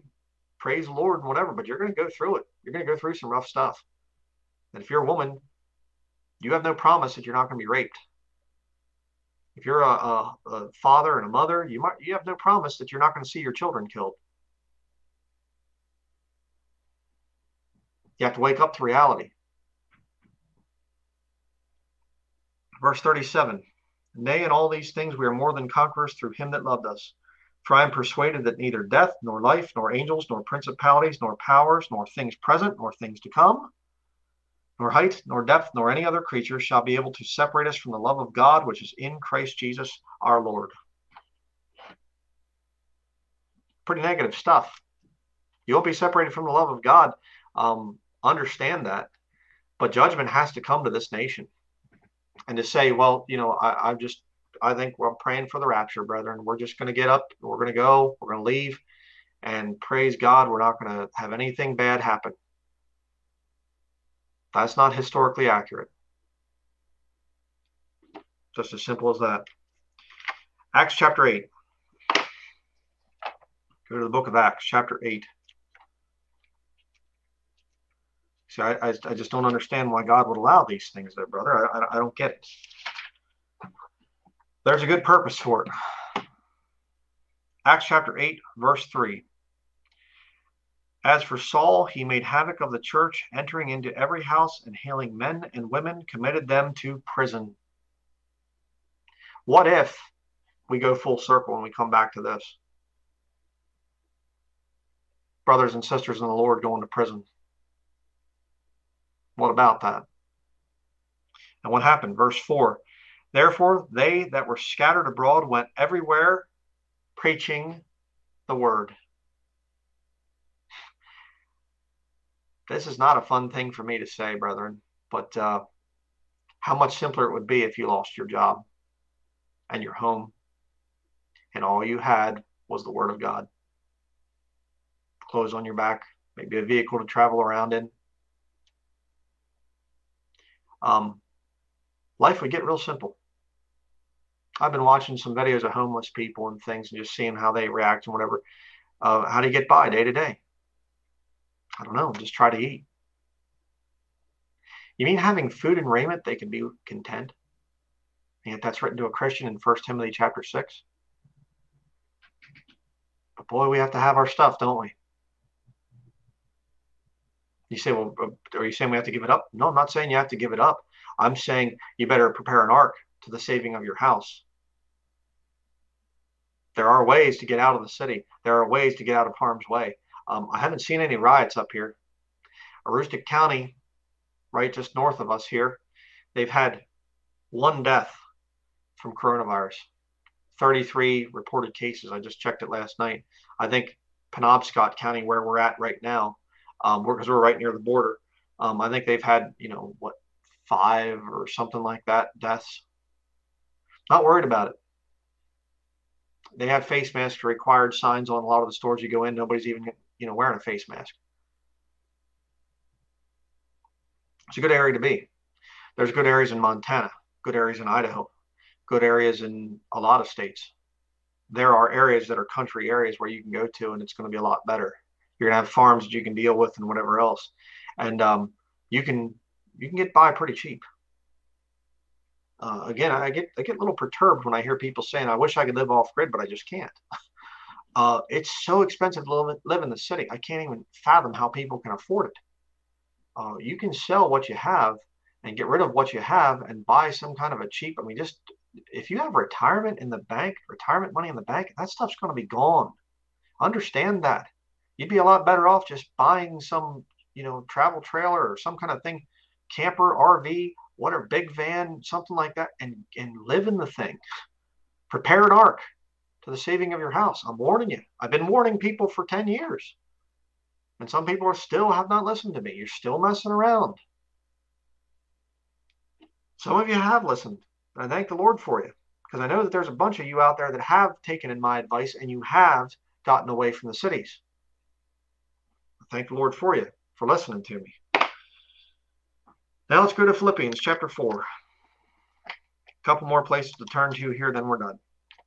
Philippians chapter 4. Remember, years ago, I was dealing with a brother and, and uh, brother Derek, uh, one of the guys who was originally part of Bible Believers Fellowship. And um, we were talking about the thing of house churches. And, and I said, Well, brother, I said, that's just, he said, Why don't we were going to Liberty Baptist, you know, and I was a rising star at Liberty Baptist and doing great teaching of Sunday school and whatever else. And, and um, very much involved in my suit and tie and the whole thing. And right when King James Video Ministries was first getting started, about 2007, before I came on YouTube. And uh, I remember we were talking about the subject of house churches, and he said, I said about, you know, well, he said, why don't we just start a house church if it's what the Bible says? Nobody had church buildings. It was all people worshiping at home. Why don't we start it? And I said, well, brother, I said, I think it's because it's more of a when you get persecuted, then you can go to a house church. And he said, so we wait for the persecution to come to start doing right. Uh, I didn't know how to answer that. No, you start doing right now. You say, well, I got to wait till the economy really falls apart to get out of the area where I'm at. I'll, I'm just going to wait. I'm going to wait. Um, brethren, they've already instituted stay-at-home orders. Well, I'm, I'm gonna I'm gonna wait for the right time. Then I'm I'm gonna I'm gonna bug out. I got a bug out bag, brother. I got this little backpack and it's got a little survival TP thing in it, and you know I don't mean toilet paper, little little tent you know, and toilet paper too. And I have a little flashlight and I have little glow sticks that break and then they, they get shiny and things. And I have some MMREs that I have stuffed in there and I have a little pocket knife. You're finished. You're not going to make it. I'm just going to run out into the woods. I've, I've seen some survival, you know, shelter videos on YouTube or something. You're not going to make it. You're not going to make it. Plain and simple. I'm warning you. I have been. People still don't listen to me hey, um, you, you really ought to quit using cell phones. Uh, they can give you cancer with the electric fields that they put off, and and you're being tracked and whatever. Oh, down there, you're such a crazy nut. Oh, you're you're so stupid and everything else. Oh, well, here's a, you know, scientist and a Dr. Devra Davis, I think her name was, doing a, a speech at a university in in Australia, and she's talking about that this thing is definitely there and, and, and you know it can cause cancer over an extended amount of time and it makes you sterile and whatever. Ah yeah but you know you just keep what are you waiting for? Till you get cancer? Till the, the government says you know we are requiring a tracking app in your cell phone now and then all of a sudden you're just going to walk away from it all people philippians chapter 4 verses 10 through 13 but I rejoiced in the Lord greatly, that now at the last your care of me hath flourished again, wherein ye were, were also careful, but ye lacked opportunity. Not that I speak in respect of want, for I have learned in whatsoever state I am, therewith to be content. I know both how to be abased and I know how to abound. Everywhere and in all things I am instructed both to be full and to be hungry, both to abound and to suffer need. I can do all things through Christ which strengtheneth me. Can you be homeless? Can you walk away from the life that you're familiar with? Go into a strange country where you don't know anybody? Can you trust the Lord? Can you live by faith? Well, brother, I'm just going to wait. Wait till what? Till your city's burning down? Is that what you're going to wait till? Well, brother, I'm just going to wait till the the you know rioters and protesters are kicking my door in. Then I think I'm going to leave. I'm going to grab my bug out bag and, brother, I'm going to head out the back door and head for the hills. No, you're not. You're going to be a statistic. And um, when we get to the judgment seat of Christ, you can't point over at me and say, He never warned me, Lord. He just always did positive messages. He never warned me about any evil coming. He didn't tell me about these things. You're not going to pull it off on me. I've been warning people for years. I've been made fun of for years for what we do and how we live and everything else.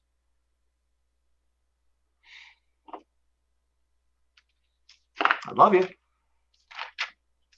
A lot of you don't listen to me. Second Corinthians chapter 6. Persecution, bad times are promised to you as a Christian. We just live in an artificial world of, of debt based wealth, artificial wealth. And so we look like we aren't being persecuted and things aren't that bad and whatever, and it's coming to an end soon. Second Corinthians chapter 6, verse 1. We then, as workers together with him, beseech you also that you receive not the grace of God in vain. For he saith, I have heard thee in a time accepted, and in the day of salvation have I succored thee. But now is the accepted, behold, now is the accepted time, behold, now is the day of salvation. Giving no offense in anything, that the ministry be not blamed, but in all things approving ourselves as the ministers of God, in patience, in afflictions. Bad stuff in necessities, in distresses, in stripes, in imprisonments, in tumults, in labors, in watchings, in fastings. A little negative there. By pureness, by knowledge, by long suffering, by kindness, by the Holy Ghost, by love unfeigned, by the word of truth, by the power of God, by the armor of righteousness on the right hand and on the left, by honor and dishonor, by evil report and good report, as deceivers and yet true, as unknown and yet well known, as dying and behold we live, as chastened and not killed, as sorrowful yet always rejoicing, as poor yet making many rich, as having nothing and yet possessing all things. You're not promised a smooth ride as a Christian. You're not. But I'm an American Christian, Brother Bryan. I, I, I'm supposed to have it good. Well, you are deceived. And your deception, the illusion is coming to an end. Turn back to the Old Testament in the book of Amos, one of the minor prophets. I had two more passages of scripture and then we're done. Amos chapter 5. I wish everybody would have listened to me way back when. I wish those of you out there, while you're turning to the book of Amos, I'm just going to say some things here. I wish a lot of people would have taken my advice and gotten serious instead of believing in this this false system and going out and buying a new house or get you know mortgaged house or we like to call the new vehicles mortgages on wheels i mean fifty sixty thousand dollars for a pickup truck and up even more than that we bought our land fifty-five thousand dollars just to be very honest and it took me years and years and years to selling things and and and struggling and scraping by and we don't need this and we don't need that to get to that point. What were you doing with your money? What were you doing with your time? Were you preparing an ark to the saving of your house? Or are you wasting it? You uh, young people out there, young brother that asked for prayer to get away from the addiction of video games, um, you would do well to get away from it quickly. I have no time for video games. I used to make time, but now I look back at that and I think how much time I wasted. I'll never go back to video games again. I have no time for it. Good way to get rid of addictions of, of oh, I'm just having a hard time getting rid of these uh, um, television and, and, you know this stuff and that stuff. Um, get off grid. Go live in your van for a while. Buy an old van and fix it up start working on it now. You better do it soon. Make sure that uh, you aren't going to, you know, bug out when the people are kicking your door in, or when the soldiers are out in the street out there handing out the vaccines, going door to door. They're going to hit the big population centers first, brethren. That's where they're going. Amos chapter 5, verse 1. Hear ye this word which I take up against you even a lamentation, O house of Israel. Hear the words that I'm telling you right now. O house of America, England, Canada, wherever you're at. The virgin of Israel is fallen. She shall no more rise. She is forsaken upon her land. There is none to raise her up. America's finished. America's not going to be raised up after what's coming. For thus saith the Lord God, the city that went out by a thousand shall leave an hundred, and that which went forth by an hundred shall leave ten to the house of Israel. A lot of people are going to die in the future. For thus saith the Lord unto the house of Israel Seek ye me, and ye shall live, but seek not Bethel. Very interesting. Bethel is Beth El, the house of God. And this is when they actually had physical synagogues, physical temples. And God's saying, Seek not Bethel. Don't go there. Don't go to the church buildings. I'm telling you, I've been warning people again for years and years and years. You go to these church buildings, they're telling you to put masks on. They're they're in debt. They're they're drowning in debt. They're not going to preach against debt. Never. They're not going to tell you to prepare. Never going to do it. Verse 5 But seek not Bethel, nor enter into Gilgal, and pass not to Beersheba, for Gilgal shall surely go into captivity, and Bethel shall come to naught. How about that? If this work of this counsel be of God, it will come to naught. Book of Acts. How many of the churches have come to naught? Every single one of them. Verse 6 Seek the Lord, and ye shall live lest he break out like fire in the house of Joseph and devour it, and there be none to quench it in Bethel. You know what's going to happen? All these churches with the nice deeds, and oh, we're going to have a food pantry, and we're going to have this, and we're going to have that, community suppers, and they're not going to quench the fire of God's wrath when it hits this country. They're not going to stop his judgment. Verse 7 Ye who turn judgment to wormwood and leave off righteousness in the earth. Seek him that maketh the seven stars in Orion, and turneth the shadow of death into the morning, and maketh the day dark with night, that calleth for the waters of the sea, and poureth them out upon the face of the earth. The Lord is his name. That strengtheneth the spoiled against the strong, so that the spoiled shall come against the fortress. They hate him that rebuketh in the gate, and they abhor him that speaketh uprightly. Hello, to all my enemies out there. For as much therefore as your treading is upon the poor, and ye take from him burdens of wheat. Ye have built houses of hewn stone, but ye shall not dwell in them. Ye have planted pleasant vineyards, but ye shall not drink wine of them. Oh, I, but I put all this money into retirement. I have all these investments. You're not going to enjoy it in the future. It's going to be gone. Verse 12 For I know your manifold transgressions and your mighty sins. They afflict the just, they take a bribe, and they turn aside the poor and the gate from their right. Therefore, key verse the prudent shall keep silence in that time, for it is an evil time. Seek good and not evil, that ye may live. And so the Lord, the God of hosts, shall be with you, as ye have spoken. Hate the evil and love the good, and establish judgment in the gate. It may, it may be that the Lord of God, or Lord God of hosts, will be gracious unto the remnant of Joseph. Wouldn't it be nice to have the Lord God be um, gracious to the remnant of the body of Christ that's here? in America. And let me just say this if you're in Europe right now, you're in a better spot than here in America. You have a problem because you have big brothers far more advanced in, in the European countries. I mean, Sweden's almost ready to go cashless into a cashless society. But you know, you know what I'm talking about if you're in Europe. Big brother is a lot more advanced over there, but you have a place in Bible prophecy in the future. Okay, the European continent is not going to be destroyed. America, there is no America in Bible prophecy. I mean, we are sitting over here, us Americans, we are sitting on a ticking time bomb, and also Canada. And you know it. You know it.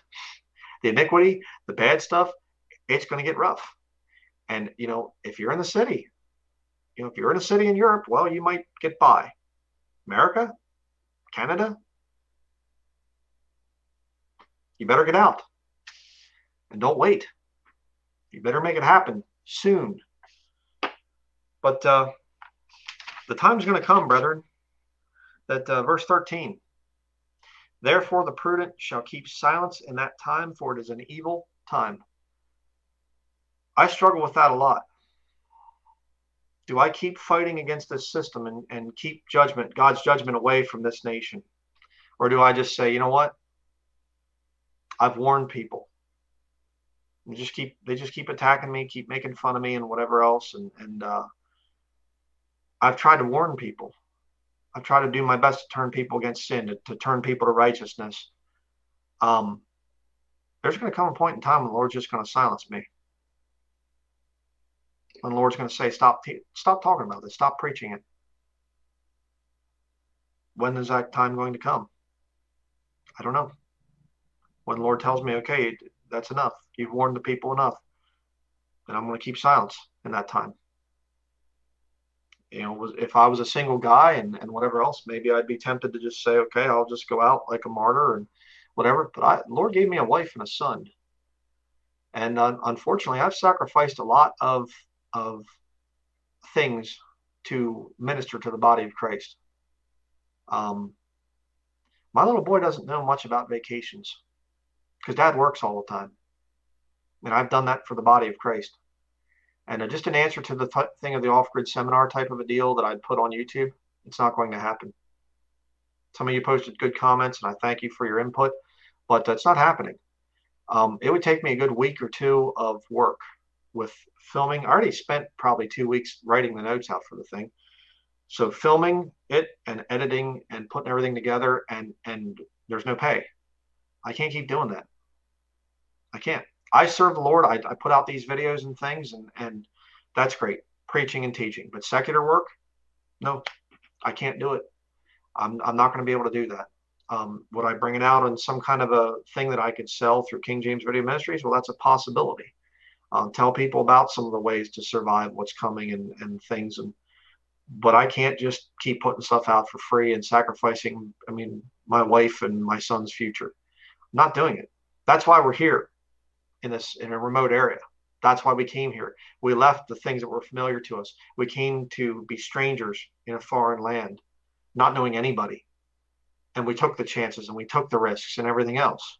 I've been through the the bad times of of basically almost being homeless. I've gone through that. Um, I've been there in a house trying to have water running, you know, a blue plastic jug and running water and, and things trying to, you know, use a, a, brush on potatoes to get the dirt off the potatoes so we can cook breakfast. And it's 18 degrees in the kitchen, Fahrenheit. Um, and your hands are freezing. I've, I've gone through that stuff. Okay. Why? Because I saw bad times coming and I didn't want to be in the city. I had offers from brethren, hey, you know, come down to our city here and we, you know, you can preach here and things that, you know, churches offered to me and whatever. No, not doing it. I don't want to be near the cities because I can see what's coming. I know what's on the way. Try to warn people. Proverbs chapter 22.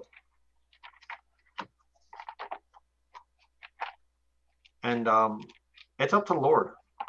It's up to the Lord. Uh, we're going to end in Proverbs chapter 22, so you can turn there in your King James Bible.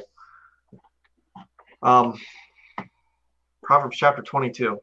It's up to the Lord how long I'm in, in the ministry. Proverbs chapter 22, verse 3.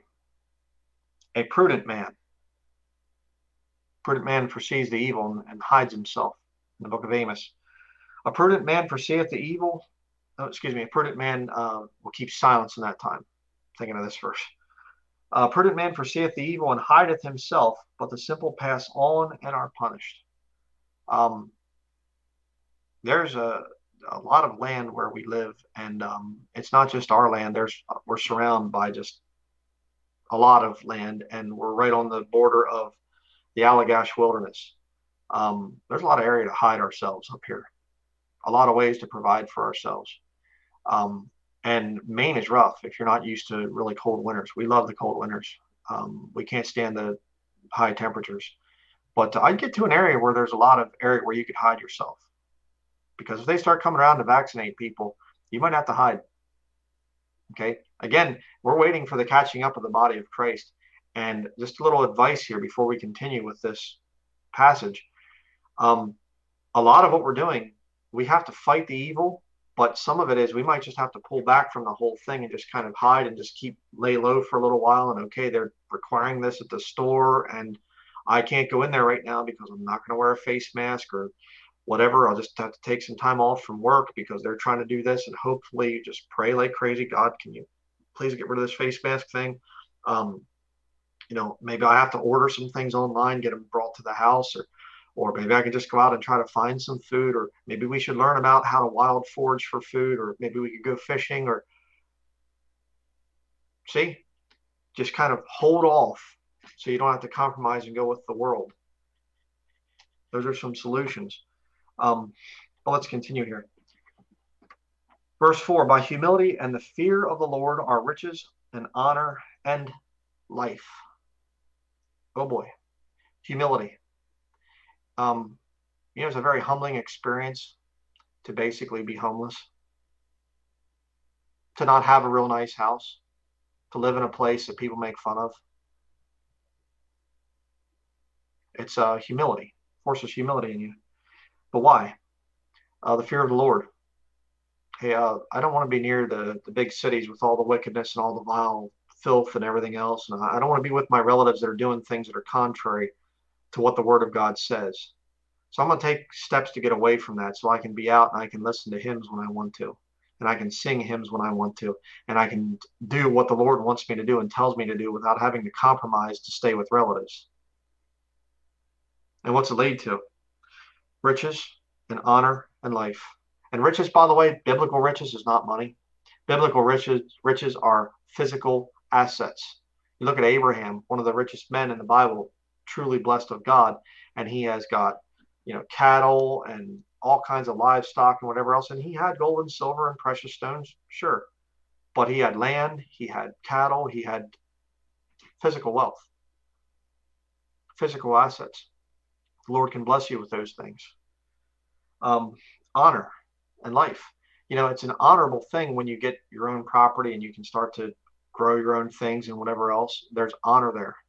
You can look at that and say, I didn't get this from the store. I know where this came from. It's not genetically modified or sprayed with chemicals or whatever else. And you live a good life. But you have to get started. You have to get it done. Verse 5 Thorns and snares are in the way of the froward. He that doth keep his soul shall be far from them. Get some distance between you and the lost world. I'm recommending it. I've been recommending it for a long time. And time is almost up you know, in the past, you could have sold some things and just kind of taken your time and leisurely looked for some property in the country and whatever else. Brethren, the city that you live in is Sodom and Gomorrah, and you know it. Don't tell me, well, there's some good cities and there's not really a lot of perversion and violence going on here. Every city is filled with perversion and violence, and it's only going to get worse. Hey, Lot, why don't you come out of the city, Lot? Well, I got some business contacts here. My daughters are engaged to men, and uh, better get out. The angels had to finally come and just say, okay, come on out. What did Lot lose when he left Sodom and Gomorrah? Everything. Escaped with the clothes on his back. He bugged out. He lost everything. Even lost his wife. She turned back.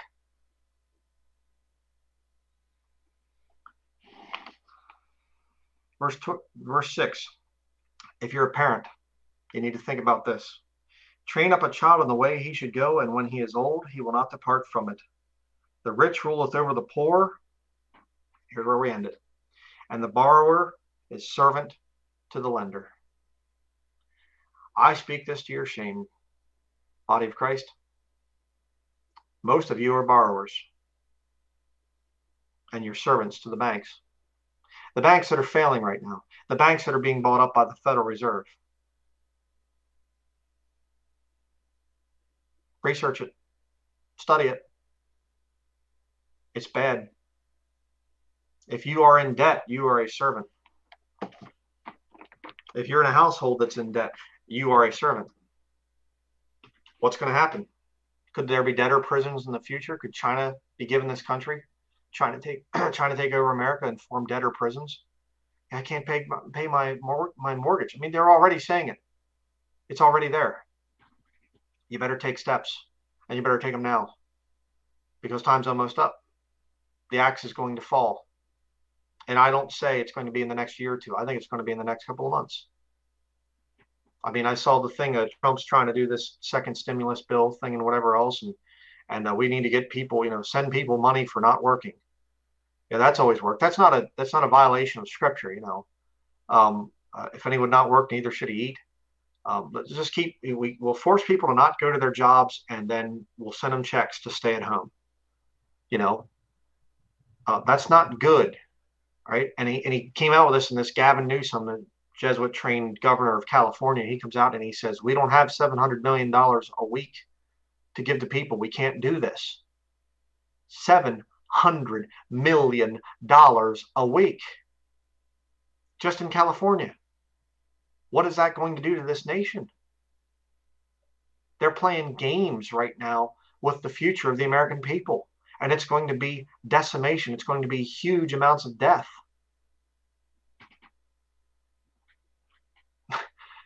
I don't know what more to say. I really don't. It's not been a real fun message for me to say, but you know what? My solution for you, um, you're to have to be homeless. Start out homeless. We'll just say a few few solutions here. You're homeless. Okay? Just imagine yourself, you've lost everything, right? Now, you're standing there. Do you have clothes on your back? Food and raiment. Let us be there with content. Written to a Christian. Okay? You start out there. Do you have a vehicle? Yes. Well, okay, then that's a little bit better than being homeless. Do you have a vehicle that's paid for, in other words? Do you have a tent? Do you have camping supplies? Do you have a way to make electricity? Little inverter that you can plug into your cigarette lighter there in your vehicle or whatever your 12 volt socket thing. Can you do that? Is that better than being just on the street with the clothes on your back? Yes, it is. Have a vehicle that's paid for if you can do that. Um, and you start moving up from there. Do you have a way to get food? Can you flee to some area? Do you have enough money to be able to get to some area where you can have the, you know, be able to buy land or get out to the country someplace? Can you get out of the, the bad situation where you're at? Um, these are things that you have to think about, and you have to think about them soon. All right, if you are in a city area and, and whatever else, um, you better run because if you don't, it's going to get real bad. And you know, you might be one of the ones that gets, you know, murdered, killed by the edge of the sword. Um, for thy sake, we are killed all the day long. We are counted as sheep for the slaughter. Written to Christians. Uh, I'm warning you. I'm giving you that one last warning. People, if you've been watching me for a while, you could have you could have heard the warnings ten years ago. You could hear my my you know, just watching my life and seeing what we go through with the off grid thing and whatever else. Um, we've been through those hard times. Um, and, and, and I just need to say this too. Uh, you can look at it as struggling, or you can look at it as, as looking, you can look at it as an adventure. Um, if you're going backpacking for a month out in the Rocky Mountains someplace, what are you going to suffer? Well, yeah, there's no running water, there's no toilet, there's no, uh, you know, a lot of the amenities that you're used to, your nice comfy bed, your nice sofa, your lazy boy recliner, or whatever else you have. Um, sure, but it's an adventure. It's a trip that you're going to remember for the rest of your life. Hey, you know what? Um, if you're saved and you and you decide, hey, let's let's just get away from this the city thing, family. And then we watch the stories of lost people. Lost people do it better than saved people. How shameful. But they go and they say, you know what? We're done. I'm, I'm just done with this mortgage thing, that's done with this rent thing. I am finished. Let's sell what we have. Let's make as much money as we can. And we're going to take that money and we're going to, you know, we'll go stay, stay at a relative's house or we'll go here, we'll go there, um, go camping, be nomadic. Let's go stay in the south during the the winter and move up north during the the you know summer, or whatever, whatever the Lord calls you to do. I mean, there's there's rural areas, you know, country areas in every state that you can get to, you know, and don't just go camp on somebody's land. I mean, you you know, you have to be wise about it, but there's places that you can get to. But you better get it done because you're running out of time. Learn how to take standing showers. Again, you can do that today, right now. Um, I can take a shower without even using one gallon of water. Um, get your health in check. Okay, the standing shower. What is a standing shower? Just let me give you some advice here. Um, I guess I could do a whole video on on off-grid practical things that you can do. Um, a standing shower is, I mean, a lot of people do this even with running water and whatever else get an older person, they can't get upstairs to the master bedroom or bathroom or whatever to take a shower. Well, you just take a washcloth and just a little bit of soap. Don't use too much soap. And, but you take a little bit of soap and you just put on your washcloth, your wet washcloth, and you you clean yourself like that. And the you know the down the private area and then under your arms and whatever, and make sure you wash your face and things. And you you rinse that off with some water, and you you know then you get your wash wash washcloth nice and wet, and you you wash your the soap off, and you dry yourself, and you're fine. You're clean. Um, you can pour water over your head if you really want to do it that way. Um, you know, there's there's a lot of ways that you can do things that most people think is just impossible. Uh, composting toilets. You can you know look up this thing of a sawdust toilet. How does a sawdust toilet work? You have access to sawdust, or you can use other you know things like that, and and uh, and instead of actually putting your your you know waste into a tank in the ground with you know using three two to three gallons of water each time you flush your toilet um, you can actually take your waste and compost and it turns into soil. I mean uh, modern flush toilets are one of the worst inventions ever. I mean it takes seven different things to make them work. Uh, you know they're, they're just awful. Again i could talk more about that. Um, the thing of food. Uh, start start researching ways.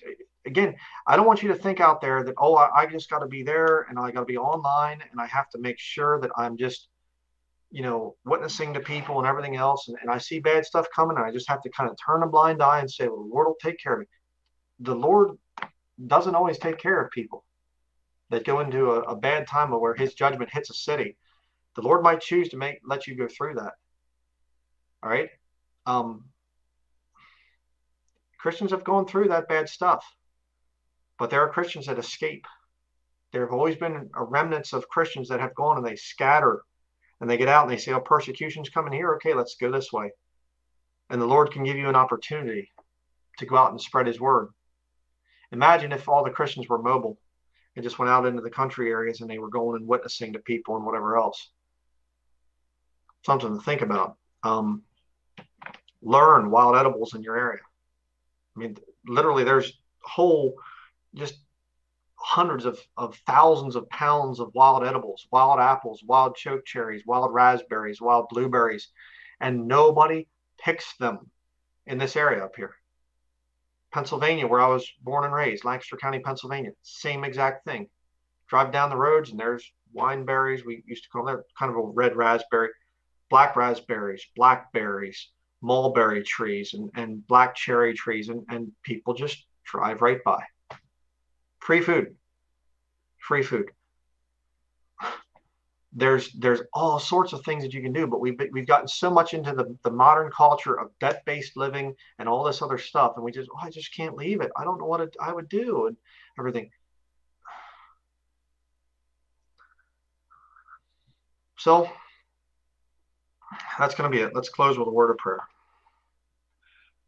Dear heavenly father i do pray lord that you would please convict um, the body of Christ out there. Uh, the lost world's been doing this stuff for a long time. They've been out there and not, you know, they've been getting out of debt and wandering around and, and living a very interesting life. And they're suffering, Lord, but we're we're supposed to suffer as Christians. And but we get so drawn into the this complacent comfort of modern living, and we don't want to take any chances, Lord. And and um, I'm guilty of it myself, Lord, sometimes. And, and I just, I pray that all of us would be challenged and all of us would see the, the danger that's coming to this country. And Lord, I do pray that you would not spare this nation much longer. It's just this, the things that people say about you and the, and the mockery and uh, just, I'm sorry, Lord, to be part of such a nation that's as wicked as, wicked as this. And I know, Lord, that your judgment is, is needed in this country.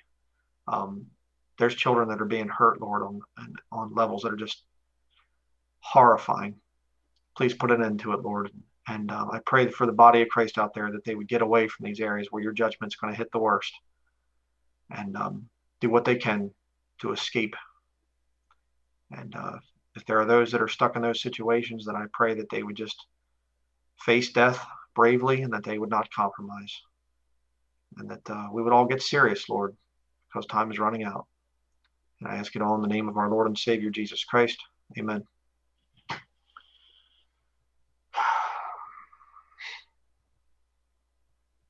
It's a rough one. Very rough to go through this.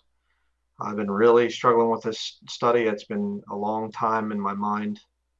So there's things that we can do. Um, so, uh, I've been seeing a lot of stuff's been going on over here. I, I'm just, I'm getting back. Um, so, um, yeah, I, I watch uh, different guys, trends forecasters, and and the one guy, he literally just broke down, started crying, and he said, "I've been saying this thing's coming to this this country," and he said, "It just breaks my heart because it's coming, and it's not gonna, we're not getting out of it. America's gonna be destroyed, and it's it's sad, and it breaks my heart. I don't like to think about it, but uh, brethren, we have to do something. We have to get ready." So, um, any questions out there?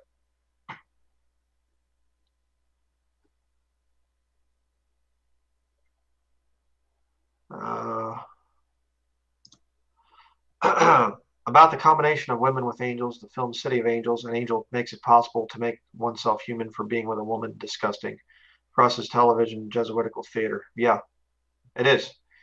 It's just, I mean, you can actually look into it and you can actually see that the Jesuits were behind a lot of the re- film ratings, the PG 13, the G, and all that other stuff. Um, so, yeah. Comment on the subject. Government in Wales, UK made sex education mandatory in schools starting from th- ages three and up. In years six, children will now be watching a film on sex education. Yeah. Yeah. Public schools are, are they were vile when I was young and they're just so much worse now. Um, so you know, brethren, I, I, want the best for everybody. I really do, and it, it just,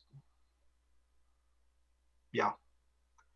Um, how can I survive the winter if I leave the city now? By living small, living tiny. It takes very, very little heat. I mean, I literally have a wood stove. It's called a, a grizzly stove and I mean you can put it in a van. There, I mean, watch some of the videos on tiny house living. I mean, you can you can live really easily and and very well, and you'll be cold. There'll be times that you know you'll go through cold, but it's adventure. You know, look at it that way. I'm telling you. I mean, you just just spend spend the day. Um, you're not going to be leaving the Lord or whatever else. Just study how to get away from the cities and and how to how watch tiny house videos. Watch you know, van living and whatever else. Man, it's just amazing the stuff the Lord can do for you. I mean, these people that are in the New Age movement, I mean, I, my heart aches for them. I just think, oh, you got so much right with the thing of having food and raiment. Let us be there with content. You, you know, they're living, they're going out, they're eating wild edibles and, and organic, you know, working on farms and things. It's, it's, it's an amazing life, but they just don't have the salvation thing right. I think, man, if Christians were doing the same thing, think of the witnessing opportunities we would have. Um, question: What question? What do I do as a single young woman? I live with my single mom and two young siblings. Well, if you're living in the city, you need to start talking to your family about getting away, and you might have to do something radical to get away before things really fall apart in this country. Um, question: Are Christian communes biblical, and should we live together or in unison? Um, well, I would say that uh, it's it's a the Christian commune concept is is okay, but there's the concept too of the thing of having your own well, having your own home and whatever. And and uh, I'm not against Christians living together in community, but boy, you, you have to have rules and, and you have to have things there. And, and it's, you know, I mean, when things get real bad, there's going to be people that are going to really overlook a lot of the differences and of opinion and, and things like that. Um, you know, something that, that you have to think about there. Just, I mean, if you have some people that you can get together with and whatever else, and you could all go buy together and buy some land and have enough privacy on that land that you can kind of respect each other. And I mean, the old saying, uh, many hands make light work. I think it, it goes, and I think that that's great. I think that if, if some people can get together and buy some land, um, and you know, kind of help each other and whatever, I think that that's a great thing. Um,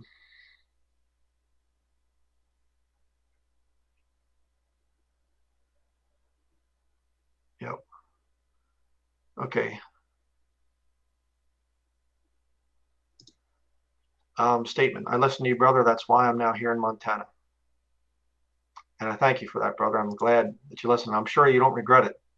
Um, and I mean, you get out in nature, and it's just it's breathtaking. Sometimes you wake up and the and the sunbeams coming through the forest and the trees, and, and the sound of birds in the morning, and and it just oh man, you'll never ever regret it. I don't care how much of a born and raised in the city person you are. You get out into the country, and it is just it's amazing. You know,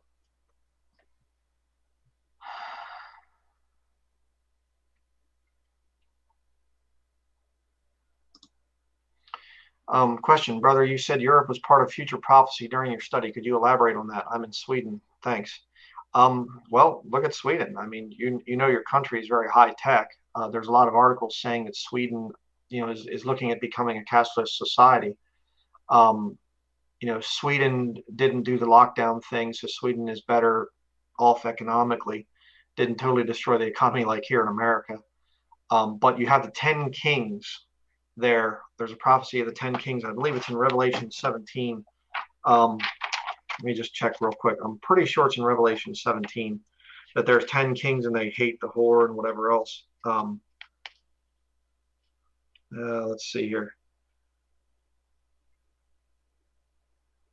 Yeah, the Revelation 17, verse 12. And the ten horns which thou sawest are ten kings, which have received no kingdom as yet, but receive power as kings one hour with the beast. Um, so there is there is a future prophecy there where the you know the European Union I think is going to kind of ber- merge into this ten kings thing, and um, not sure how it's all going to work out yet. Again, I don't understand everything perfectly in the book of Revelation, but certainly um, Europe there's there's the the different kingdoms and things there, and your power grid over there in Europe again is so much better than ours here in America. I mean we literally have electric lines that are spliced together. You can drive anywhere in America. The infrastructure in America is awful. It's just terrible. And you know, again, I've studied that, and, and the the cost of bringing our infrastructure up, be it fixing the roads, the bridges, the electric lines, it's just not going to happen with a nation that's so badly in debt like America. Um, so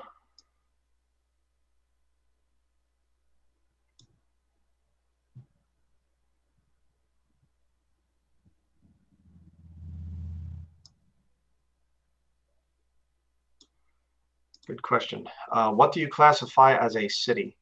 Um, well, I would say when you get up into the millions of numbers of population center. Um, I would say if there's a lot of problems, if there's, uh, you know, I mean, there's there's quote unquote cities here in Maine that are they're tiny compared to New York City or Los Angeles or Chicago or Miami or something. But um, I would say if you can look at it on a map, like a and there's just miles and miles and miles of just streets and streets and streets and streets, and there's more than a million living there, I would say that's a city. Um, and I mean, you're you know moving out into the suburbs at least. You know, if you can see if there's more trees than houses, I'll say it that way, then you're in a better spot. Um, if there's more houses and more buildings than trees, well, I mean that's pretty basic, but you know you, you just want to get to a place um, there's a you want to get to a place where you can be safer you know where if things get bad you know i remember hearing years ago that they would go to africa the un troops united nations troops would go into africa to forcibly vaccinate the people and the people would run out of their village and go hide in the jungle. Okay that's the concept i'm trying to get through to people. Do you have a place where you can go hide if things get real bad? Um, you know I mean, worst case scenario, I'm talking you didn't prepare, you have no other choice but to just get out with the clothes on your back, kind of like Lot uh, did with Sodom and Gomorrah. You know, he runs out into the mountains. You know, first he wanted to go to another city, but then he sees the Sodomites are there too, and he, okay, got to get out into the mountains. Are you able to do that where you're at? So, um, Question: Is it wise to walk away from my debt in order to get out off grid out of the city and let let my vehicles that I own be repossessed? I have one that I own. Um, that's something you're gonna have to pray about. I think that it's good to pay off your debts and everything, but um, when it's a survival situation, you might not have a choice. Uh, you know, what's coming to this country, I think it, it's really be wise to say, okay, I'm going to try to really, you know, save up here and, and whatever else, and I, I need to do this to survive. Um,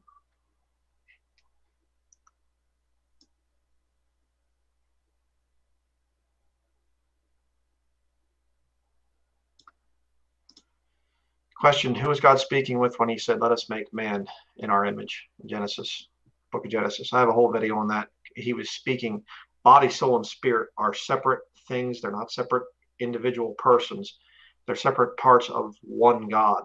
So the body and the soul can speak to each other and the spirit can speak as well.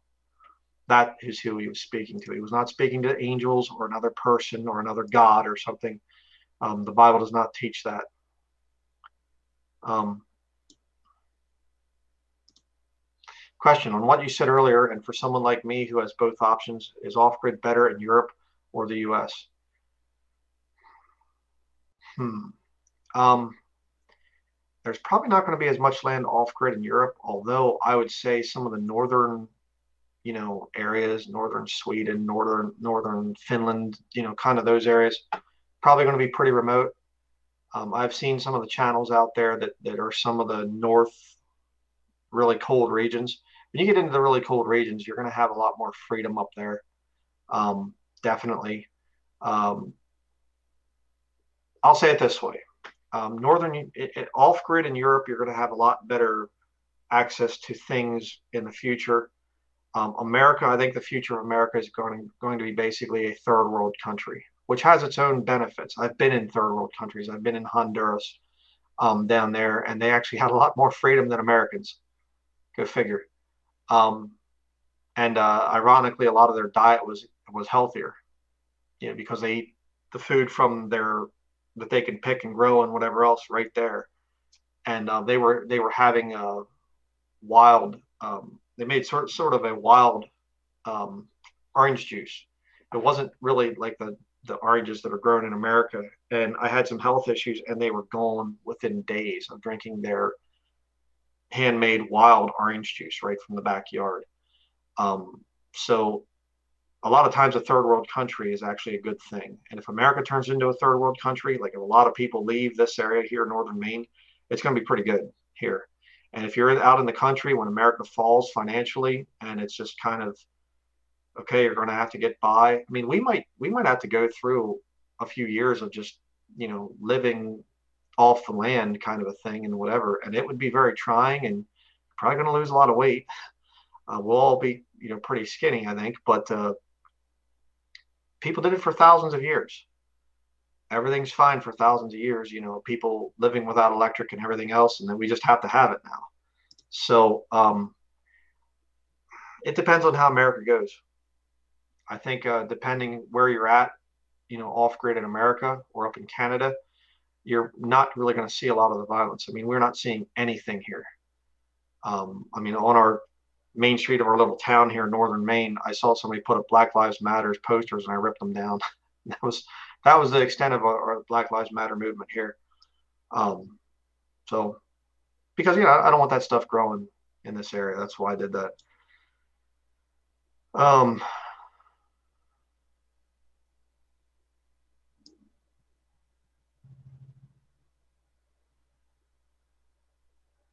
Okay, I'm trying to get caught up here on down through.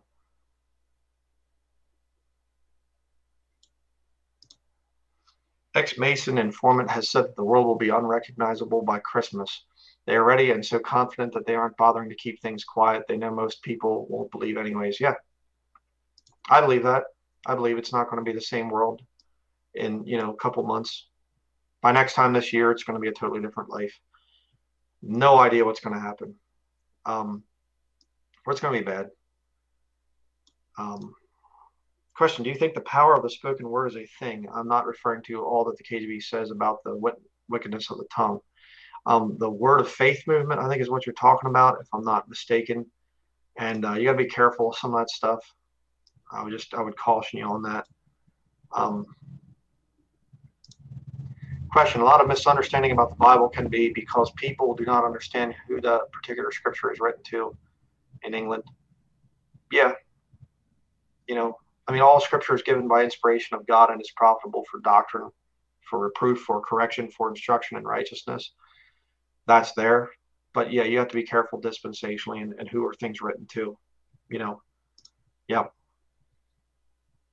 Um, question I have spoken with several brethren on this. I personally believe there will be a trigger event to bring in the second wave extreme maxims. Your thoughts? Um, very possible. I don't know. I'd like to think it's the catching up of the body of Christ because they could certainly kick in things after that happens. But I mean, there, there's, you know, yeah, Bill Gates saying about the next pandemic, it's going to be worse and whatever. And the Black Pope, the head of the Jesuit order, and he's saying, you know, if you don't listen, if people try to go back to the old way, the things, the way the world was, then the next, you know, the next one will be worse. They have the the, the Jesuit order and all these other secret societies. These, they're they're all about money. They're all about wanting to to, to kill off large portions of people because they they learn to, to, to control populations and they get a lot of people to work in their factories. But now the factories are all overseas, so they don't need all the people anymore. And so they want to come up with ways. I mean, you got to think like them sometimes. The Bible talks about being wise as serpents and harmless as doves. Wise as a serpent, wise as these snakes out there. How would they do this? If I was in their mind, how do you to get control of a population? But it, we're to be harmless as doves. We're not to act like that. We're not to do those things. How how do politicians, how do world leaders eliminate their population? Well, disease is a great way to do it. And how do you bring in disease? By getting control of the food supply, um, poisoning the food supply, like they've been doing for years with all their excitotoxins and all their additives and high fructose corn syrup, aspartame, um, you know, monosodium glutamate. I mean, all this stuff. Make the population sick, lower their immune system, and then you bring in some kind of a disease that can kill off the population. That's a good way to do it. War is another good way to do it. Um, you know, let's let's start World War Three. Let's let's have you know terror attacks and whatever else. So could they be planning something for the near future? Quite possible, very possible. Um, they're they're just constantly stirring this this racial thing, the racial tension type of thing, getting black people to hate white people white people to hate black people.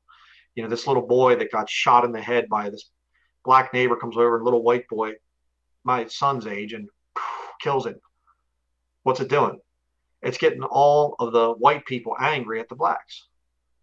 Black Lives Matter. Oh, you know, I saw this report this morning and they were saying that the you know the number of covid deaths is much higher in among the blacks and things yeah because the blacks go into the hospitals and they're eliminating them because blacks a lot of them don't have the money to fight the system you know and and so they go in that the you know planned parenthood goes after the blacks a lot of a lot of the things the the tuskegee experiment where they were giving, you know, the CDC basically, I think it was, gave black men syphilis and then sat back and watched what happened out in the population. A matter of documented history. You know, this this is the world we live in. Okay, you have to just accept that. Um,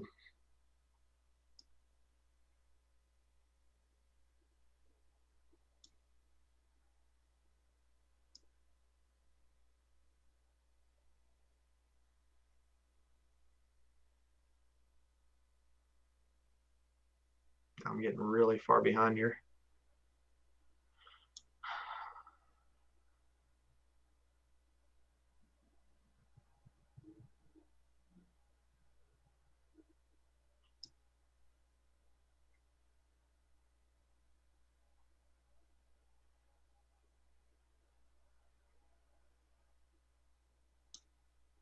Just gotta say this. Wish I had a log cabin out in the middle of nowhere, just go fishing every day. Um, you can have a log cabin on wheels. Okay.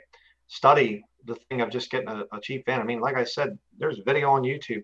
Woman buys a $1,500 U-Haul truck, puts a couple hundred dollars into it, gets the thing running good, and you can drive to wherever you want. You're camping, you know. I mean, I've I've done it.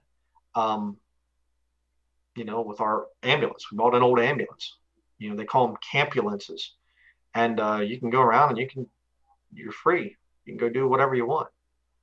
Um, I live in a tiny village under 750 population in Ohio in the foothills of the Appalachians. I firmly believe that God brought us here years ago. Amen. That's great. Praise the Lord. That's neat to hear. Um, it's it's wonderful. I mean, you know, again, people, oh, I just don't know if I could live in a tiny house. We live in a tiny house. We have for a year now, and you know, it's it's very easy to clean, and you know, it, it gets you into this thing of of do I really need all this stuff? And he said, no, I don't. You know, and, and you simplify your life and, and you're happy and you're content. And, you know, how do I survive the winter? Well, if you live in a tiny house, it's easy. You know, we, we barely use any firewood. We literally, this past winter, I cooked on our wood stove and I heated up in the morning and in the evening, and that's it. Two times a day, I made fires in our wood stove and it kept the place nice and warm all day. And, you know, not even that nice of a, of a tiny house either, I might add. Not something that I would build. In other words, recycled housing. Um, in living off grid, what are some ways to cool a house in the summer? You had to ask that, didn't you? um, uh, it's not easy. That's one thing that you have to put up with. Um, quite frankly, the best thing to do to cool your tiny house is not to be in the tiny house. Um, there are battery powered fans that you can get. We have some, uh, DeWalt makes a 20 volt cordless work site fan, and we have you know three of those, one for each of us, and that helps. But it's still, I mean, we've had nights where it was 90 plus degrees inside our tiny house, and it was rough. And I've been struggling with the thing of not getting much sleep over the last two months. Um, but we recently got a tent. We had a, a tent, but it was too. It was a real small, like two person, three person tent. And so you can get a tent. A lot of people will stay in tents throughout the summer months. Um, different ways that you can do it. You can go swimming a lot in, in the summertime and things. So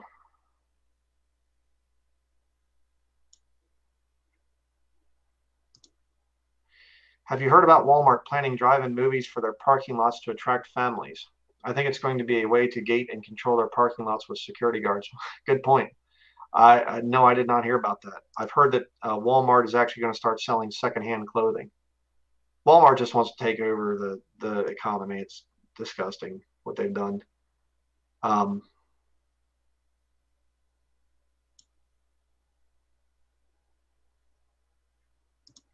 That's a good comment. In the days of Noah, it was business as usual. People ate, married, and Noah was able to, to move freely and continue to build the ark until he entered in and closed the door. Then came destruction. Amen. Um,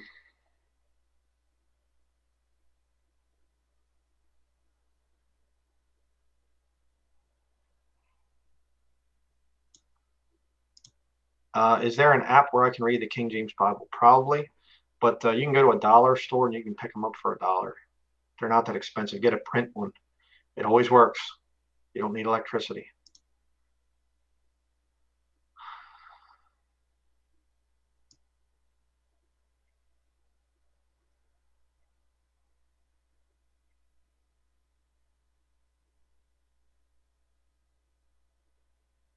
Um, Question, I struggle with phone addiction. Too much time spent on YouTube, etc. But do these addictions drive us further away from God? And God and will God stand afar from us? I want healthy fellowship with God. When you are in sin, yes, the Lord will he'll back off a little bit. He will let you be chastened. I'm just gonna be honest. Again, I'm speaking from experience. Uh, I'm not gonna lie to you and just say, oh, oh my, do God loves you no matter what you do. God loves you. Nothing shall separate us from the love of God when you're saved, when you're born again. But there are some things that you can do, and the Lord will just flat out punish you badly. Um, and I struggle. I struggle with that. I struggle with wasting too much time on the computer and whatever else. Um, I struggle with that. And uh, you have to get away from it.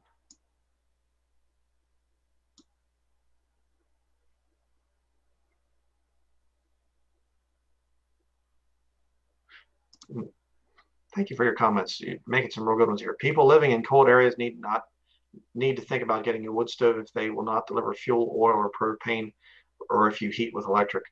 Yeah, Uh, wood stoves are the best, but as you can heat a fairly tiny, small, you know, area, surf, you know, a, a tiny space with wood very easily.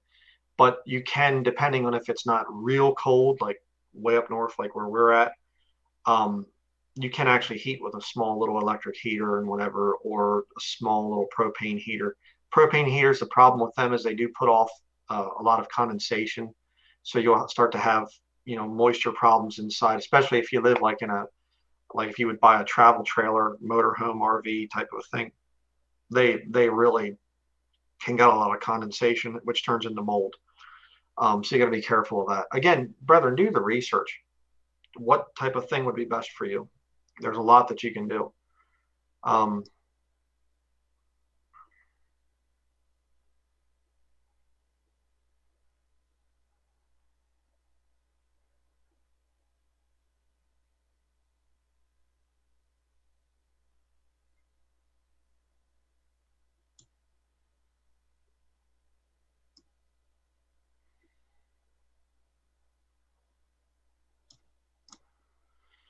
Question Should I flee to South America if that is an option? If you can, yeah.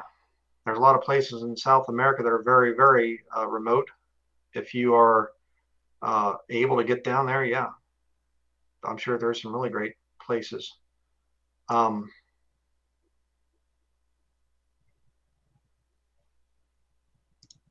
question Are the spirits in 1 Peter 3 18 through 20 uh, angels or lost souls? I'm pretty sure they're angels. Um,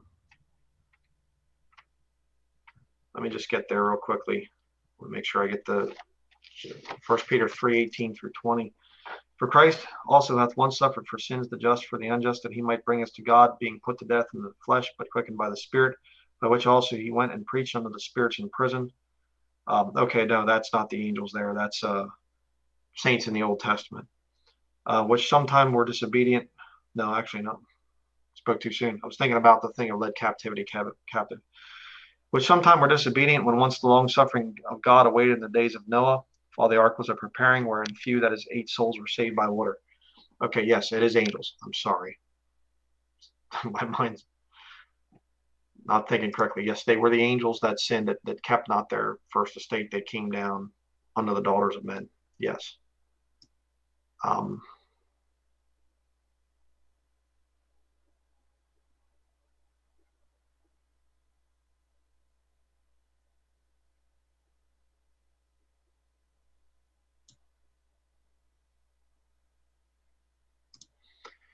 Question. Thank you for staying, staying the course over the years. We read today in Hebrews 11 7 that Noah took care of his own house, not father, mother, grandparents, aunts, uncles that are lost. Another rough one. Yeah. It grieves my heart to know that uh, my parents at this point in time, I love them very much, but uh, they're just swallowing the whole thing hook, line, and sinker. And I have tried to warn them, and they're not getting it. And it's just my siblings, I don't even talk with most of my siblings. They've disowned me. Uh, am I am I concerned? Would I would I weep if I heard that they were killed? Yeah, I would. But uh, people, you know, most of them think I'm crazy, and uh, it's not it's not uh, you know oh, oh look they've been taken over they've been killed down there ha gotcha I was right you were wrong not at all I don't have that attitude but I know that if I tried to bring my relatives here, it would be just fighting and war and contention and just sorry. See ya. Um, we moved to Maine and I don't regret it and I'm not looking back. We moved to a new country and I thank the Lord for that.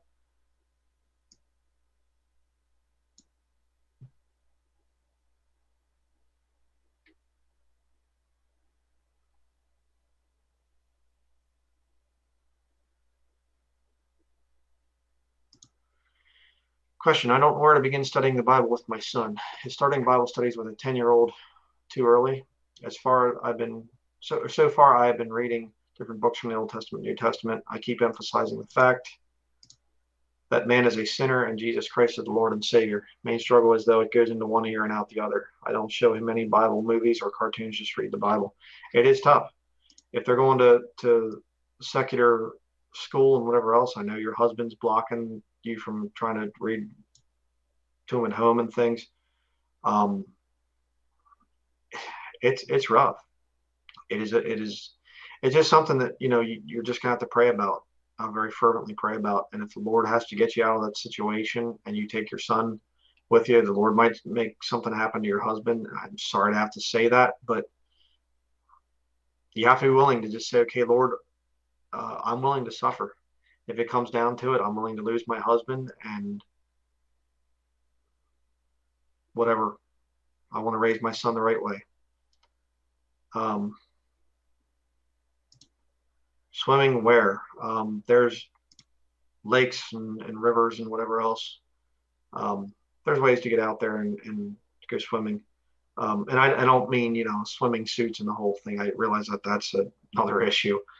Um, but uh, I mean, we used to have a spring at our one property. We, we have some at our current property, but it's not as easily accessible. Um, and we would just go in the summertime. And we'd scoop spring water out of the spring and just pour it, and it's you know like 50 degree temperatures even on the hottest days, and it just oh, it takes your breath away. but you feel really good for a while. Um, to cool off a house, if possible, put it into a group of trees. Also, look into a swamp cooler. Yeah, the swamp cooler thing is okay. There's there's a lot of stuff that you can study. Um, man, I'm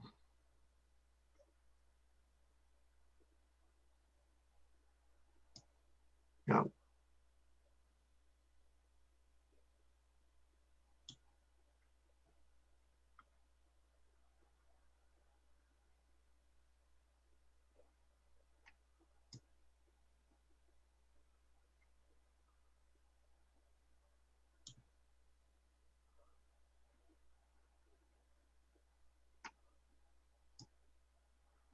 Yeah.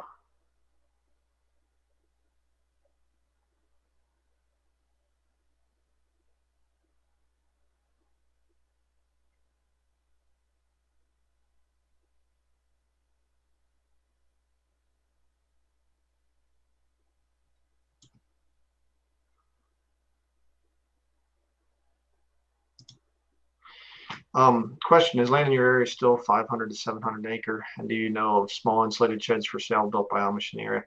Um, the Amish, I don't really want to give any Amish money. Um, they're, they're so messed up and whatever else, but, uh, land, you can find land cheaper if it's off grid. Um, if it's been logged recently, I can go down as low as 200 an acre told to me by the real estate agent that I know in this area um, depending on how bad the logging was. And people are logging like crazy in the area right now. Um, I'm sure probably in other states too, you're probably seeing a lot of logging being done. Um, people are just trying to get as much money as they can off, you know, out of their land before things fall apart. So um, you, you, just have to search around for it. Um, you know, colder climates are going to be cheaper.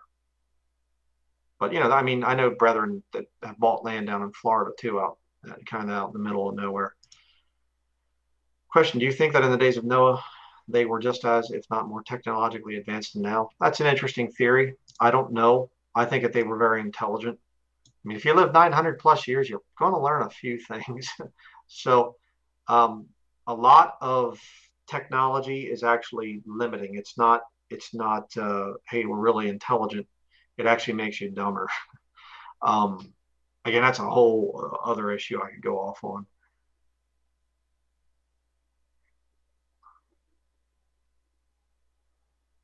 Um, question: Which videos do you talk about being debt free and living off grid? Well, I it's interspersed throughout all the different years I've been around.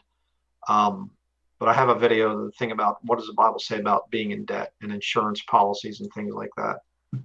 Um,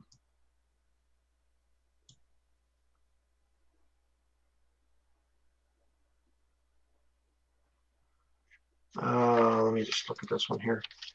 In Romans 12, 2, is it three separate will of God of, or one, I think you mean, or one will of God. Um,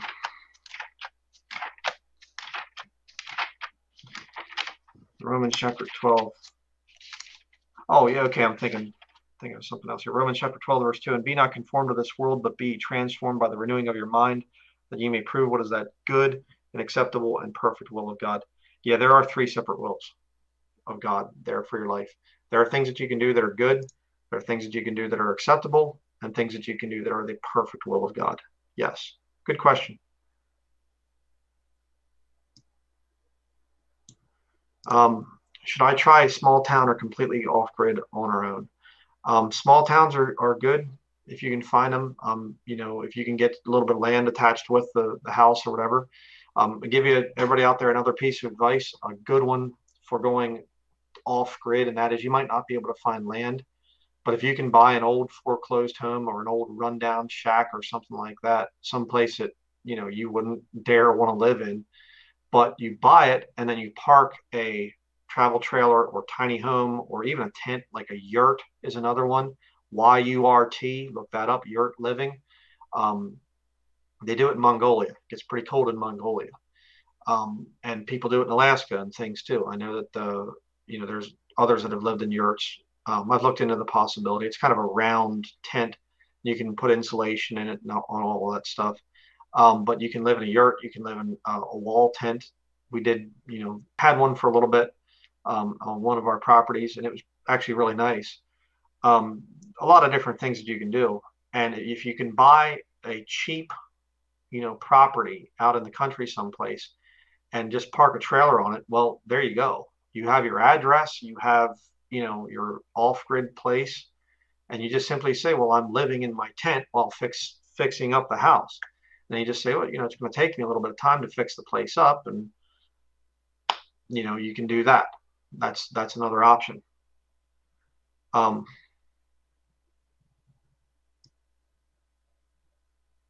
so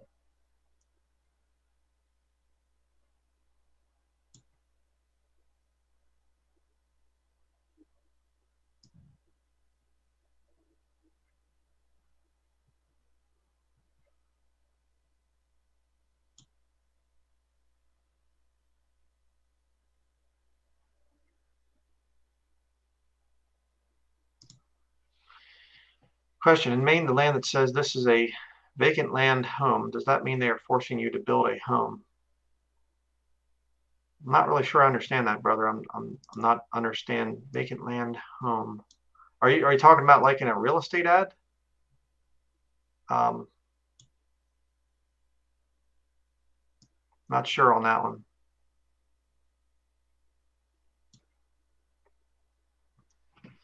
Um,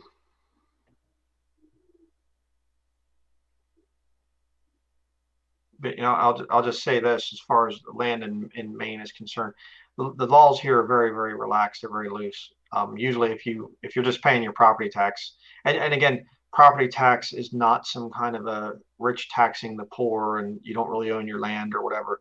Property tax goes towards plowing the roads and public schools, which I think are stupid um, and should be stopped. Um, but they go to maintaining the area. Now, there's wasting of money. I get that, but there's a reason for property tax. Um, but Maine actually has uh, legislation that was that was passed whereby you can actually build tiny homes legally, you know, with zoning approval and everything here in the state of Maine. So, um, but there's there's old houses, there's old cabins, there's old places, you know, that you can get for pretty cheap. And I mean, you know, West Virginia, there's land down there we've looked we looked at before we moved to Maine, Virginia, you know, down through some of the southern states, northern Pennsylvania up in there. But you got to be careful up there with the fracking thing. Your water, your well might be ruined. But you can always do rainwater catchment. That's another thing that you can do.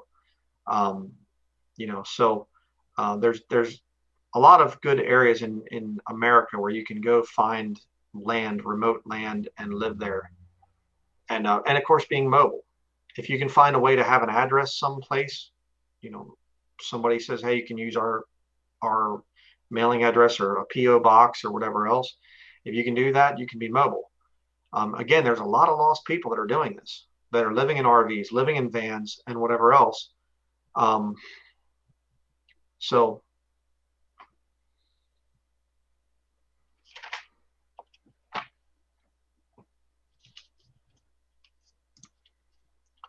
Hebrews 11, 23 through 29. I've read a lot of Hebrews chapter 11. Um, but I'll read that real quick, brother. Hebrews chapter 11, verse 23 through 29. By faith, Moses, when he was born, was hid three months of his parents because they saw that he was a proper child and they were not afraid of the king's commandment. Sometimes you have to deceive the deceptive government leaders. By faith, Moses, when he was come to years, refused to be called the son of Pharaoh's daughter, choosing rather to suffer affliction with the people of God than to enjoy the pleasures of sin for a season. Very much being on grid, there's a lot of pleasures that are, you know, you know, watching TV and whatever else. Those are sins for a season. Um, Verse 26 Esteeming the reproach of Christ greater riches than the treasures in Egypt, for he had rec- respect unto the recompense of the reward. By faith he forsook Egypt, not fearing the wrath of the king, for he endured as seeing him who is invisible. Through faith he kept the Passover and the sprinkling of blood, lest he that destroyed the firstborn should touch them. By faith they passed through the Red Sea as by dry land, which the Egyptians, saying to do, were drowned. Again, you know, brethren, you go off grid, you get away from the cities, you will live a life of adventure. I mean, we look back at our lives. I'm glad that I didn't have a stable, just living in a nice house with a nice this and a nice that. I mean, we, we still talk about the adventures we've had, you know, and it, it's rough to go through at the time, but you, you come through it and you, and you, you look back and you laugh at it. You think, boy, that was wild. you remember that time that this happened? Or remember that time we were out camping and that that big moose came walking up and you know whatever else i mean we built a little cabin back on our property just teeny tiny little thing like a little shed and uh and it's not being used anymore but um we we built something as a shelter and i remember this one night we're in there and i hear this you know something walking around outside and i sat up in bed and what is that and i could hear this you know crunch crunch crunch outside and i thought oh man there's somebody outside and I get up and shine my flashlight out, you know, out there like this, you know, I'm doing like this with my hand. I'm, I'm shining my flashlight, and here's this big bull moose, and just right outside of the cabin, and he looks in at me, and he's kind of, you know, what are you doing, shining a light on me? uh, it's neat. You, you have adventure. You know, it's not a bad thing. So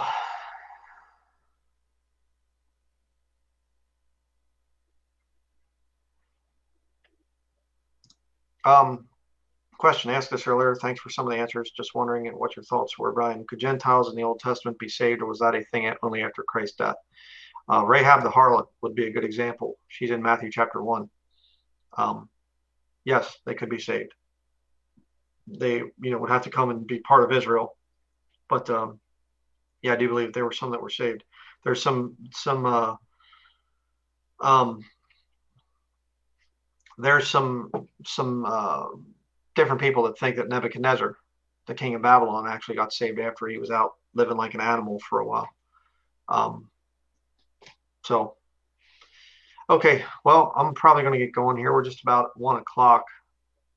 Um, so, um, get get active, brethren.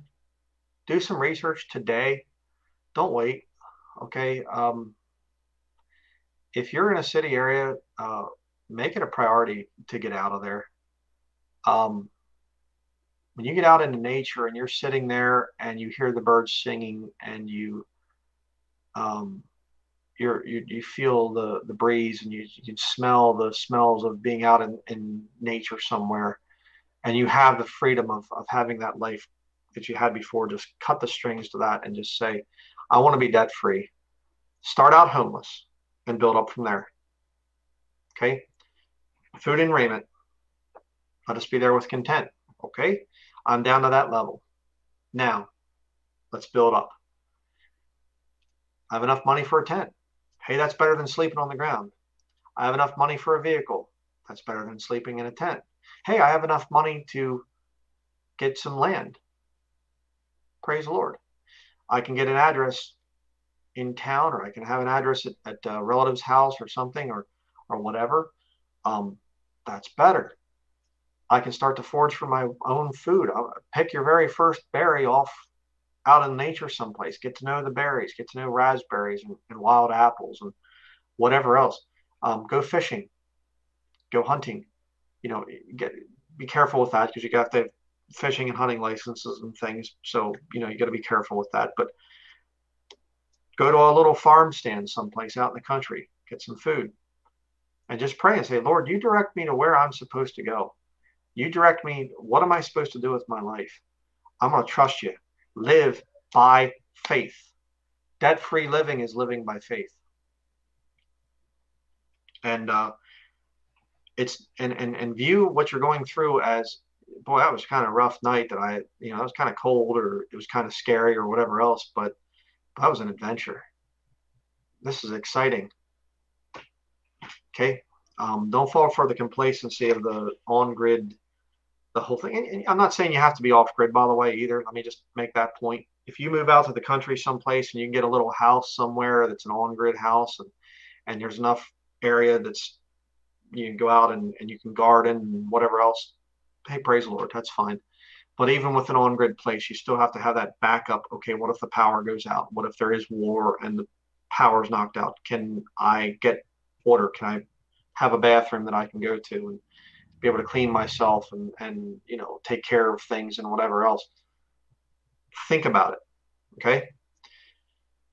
Um, So, all right, I'm to end it there. Um, let's pray for each other, and uh, we'll see in upcoming videos. And um, please, what more can I say? Just take heed to what I'm saying. Okay, brethren, rough times are coming. All right, that's going to be it, and we'll see everybody in the next video.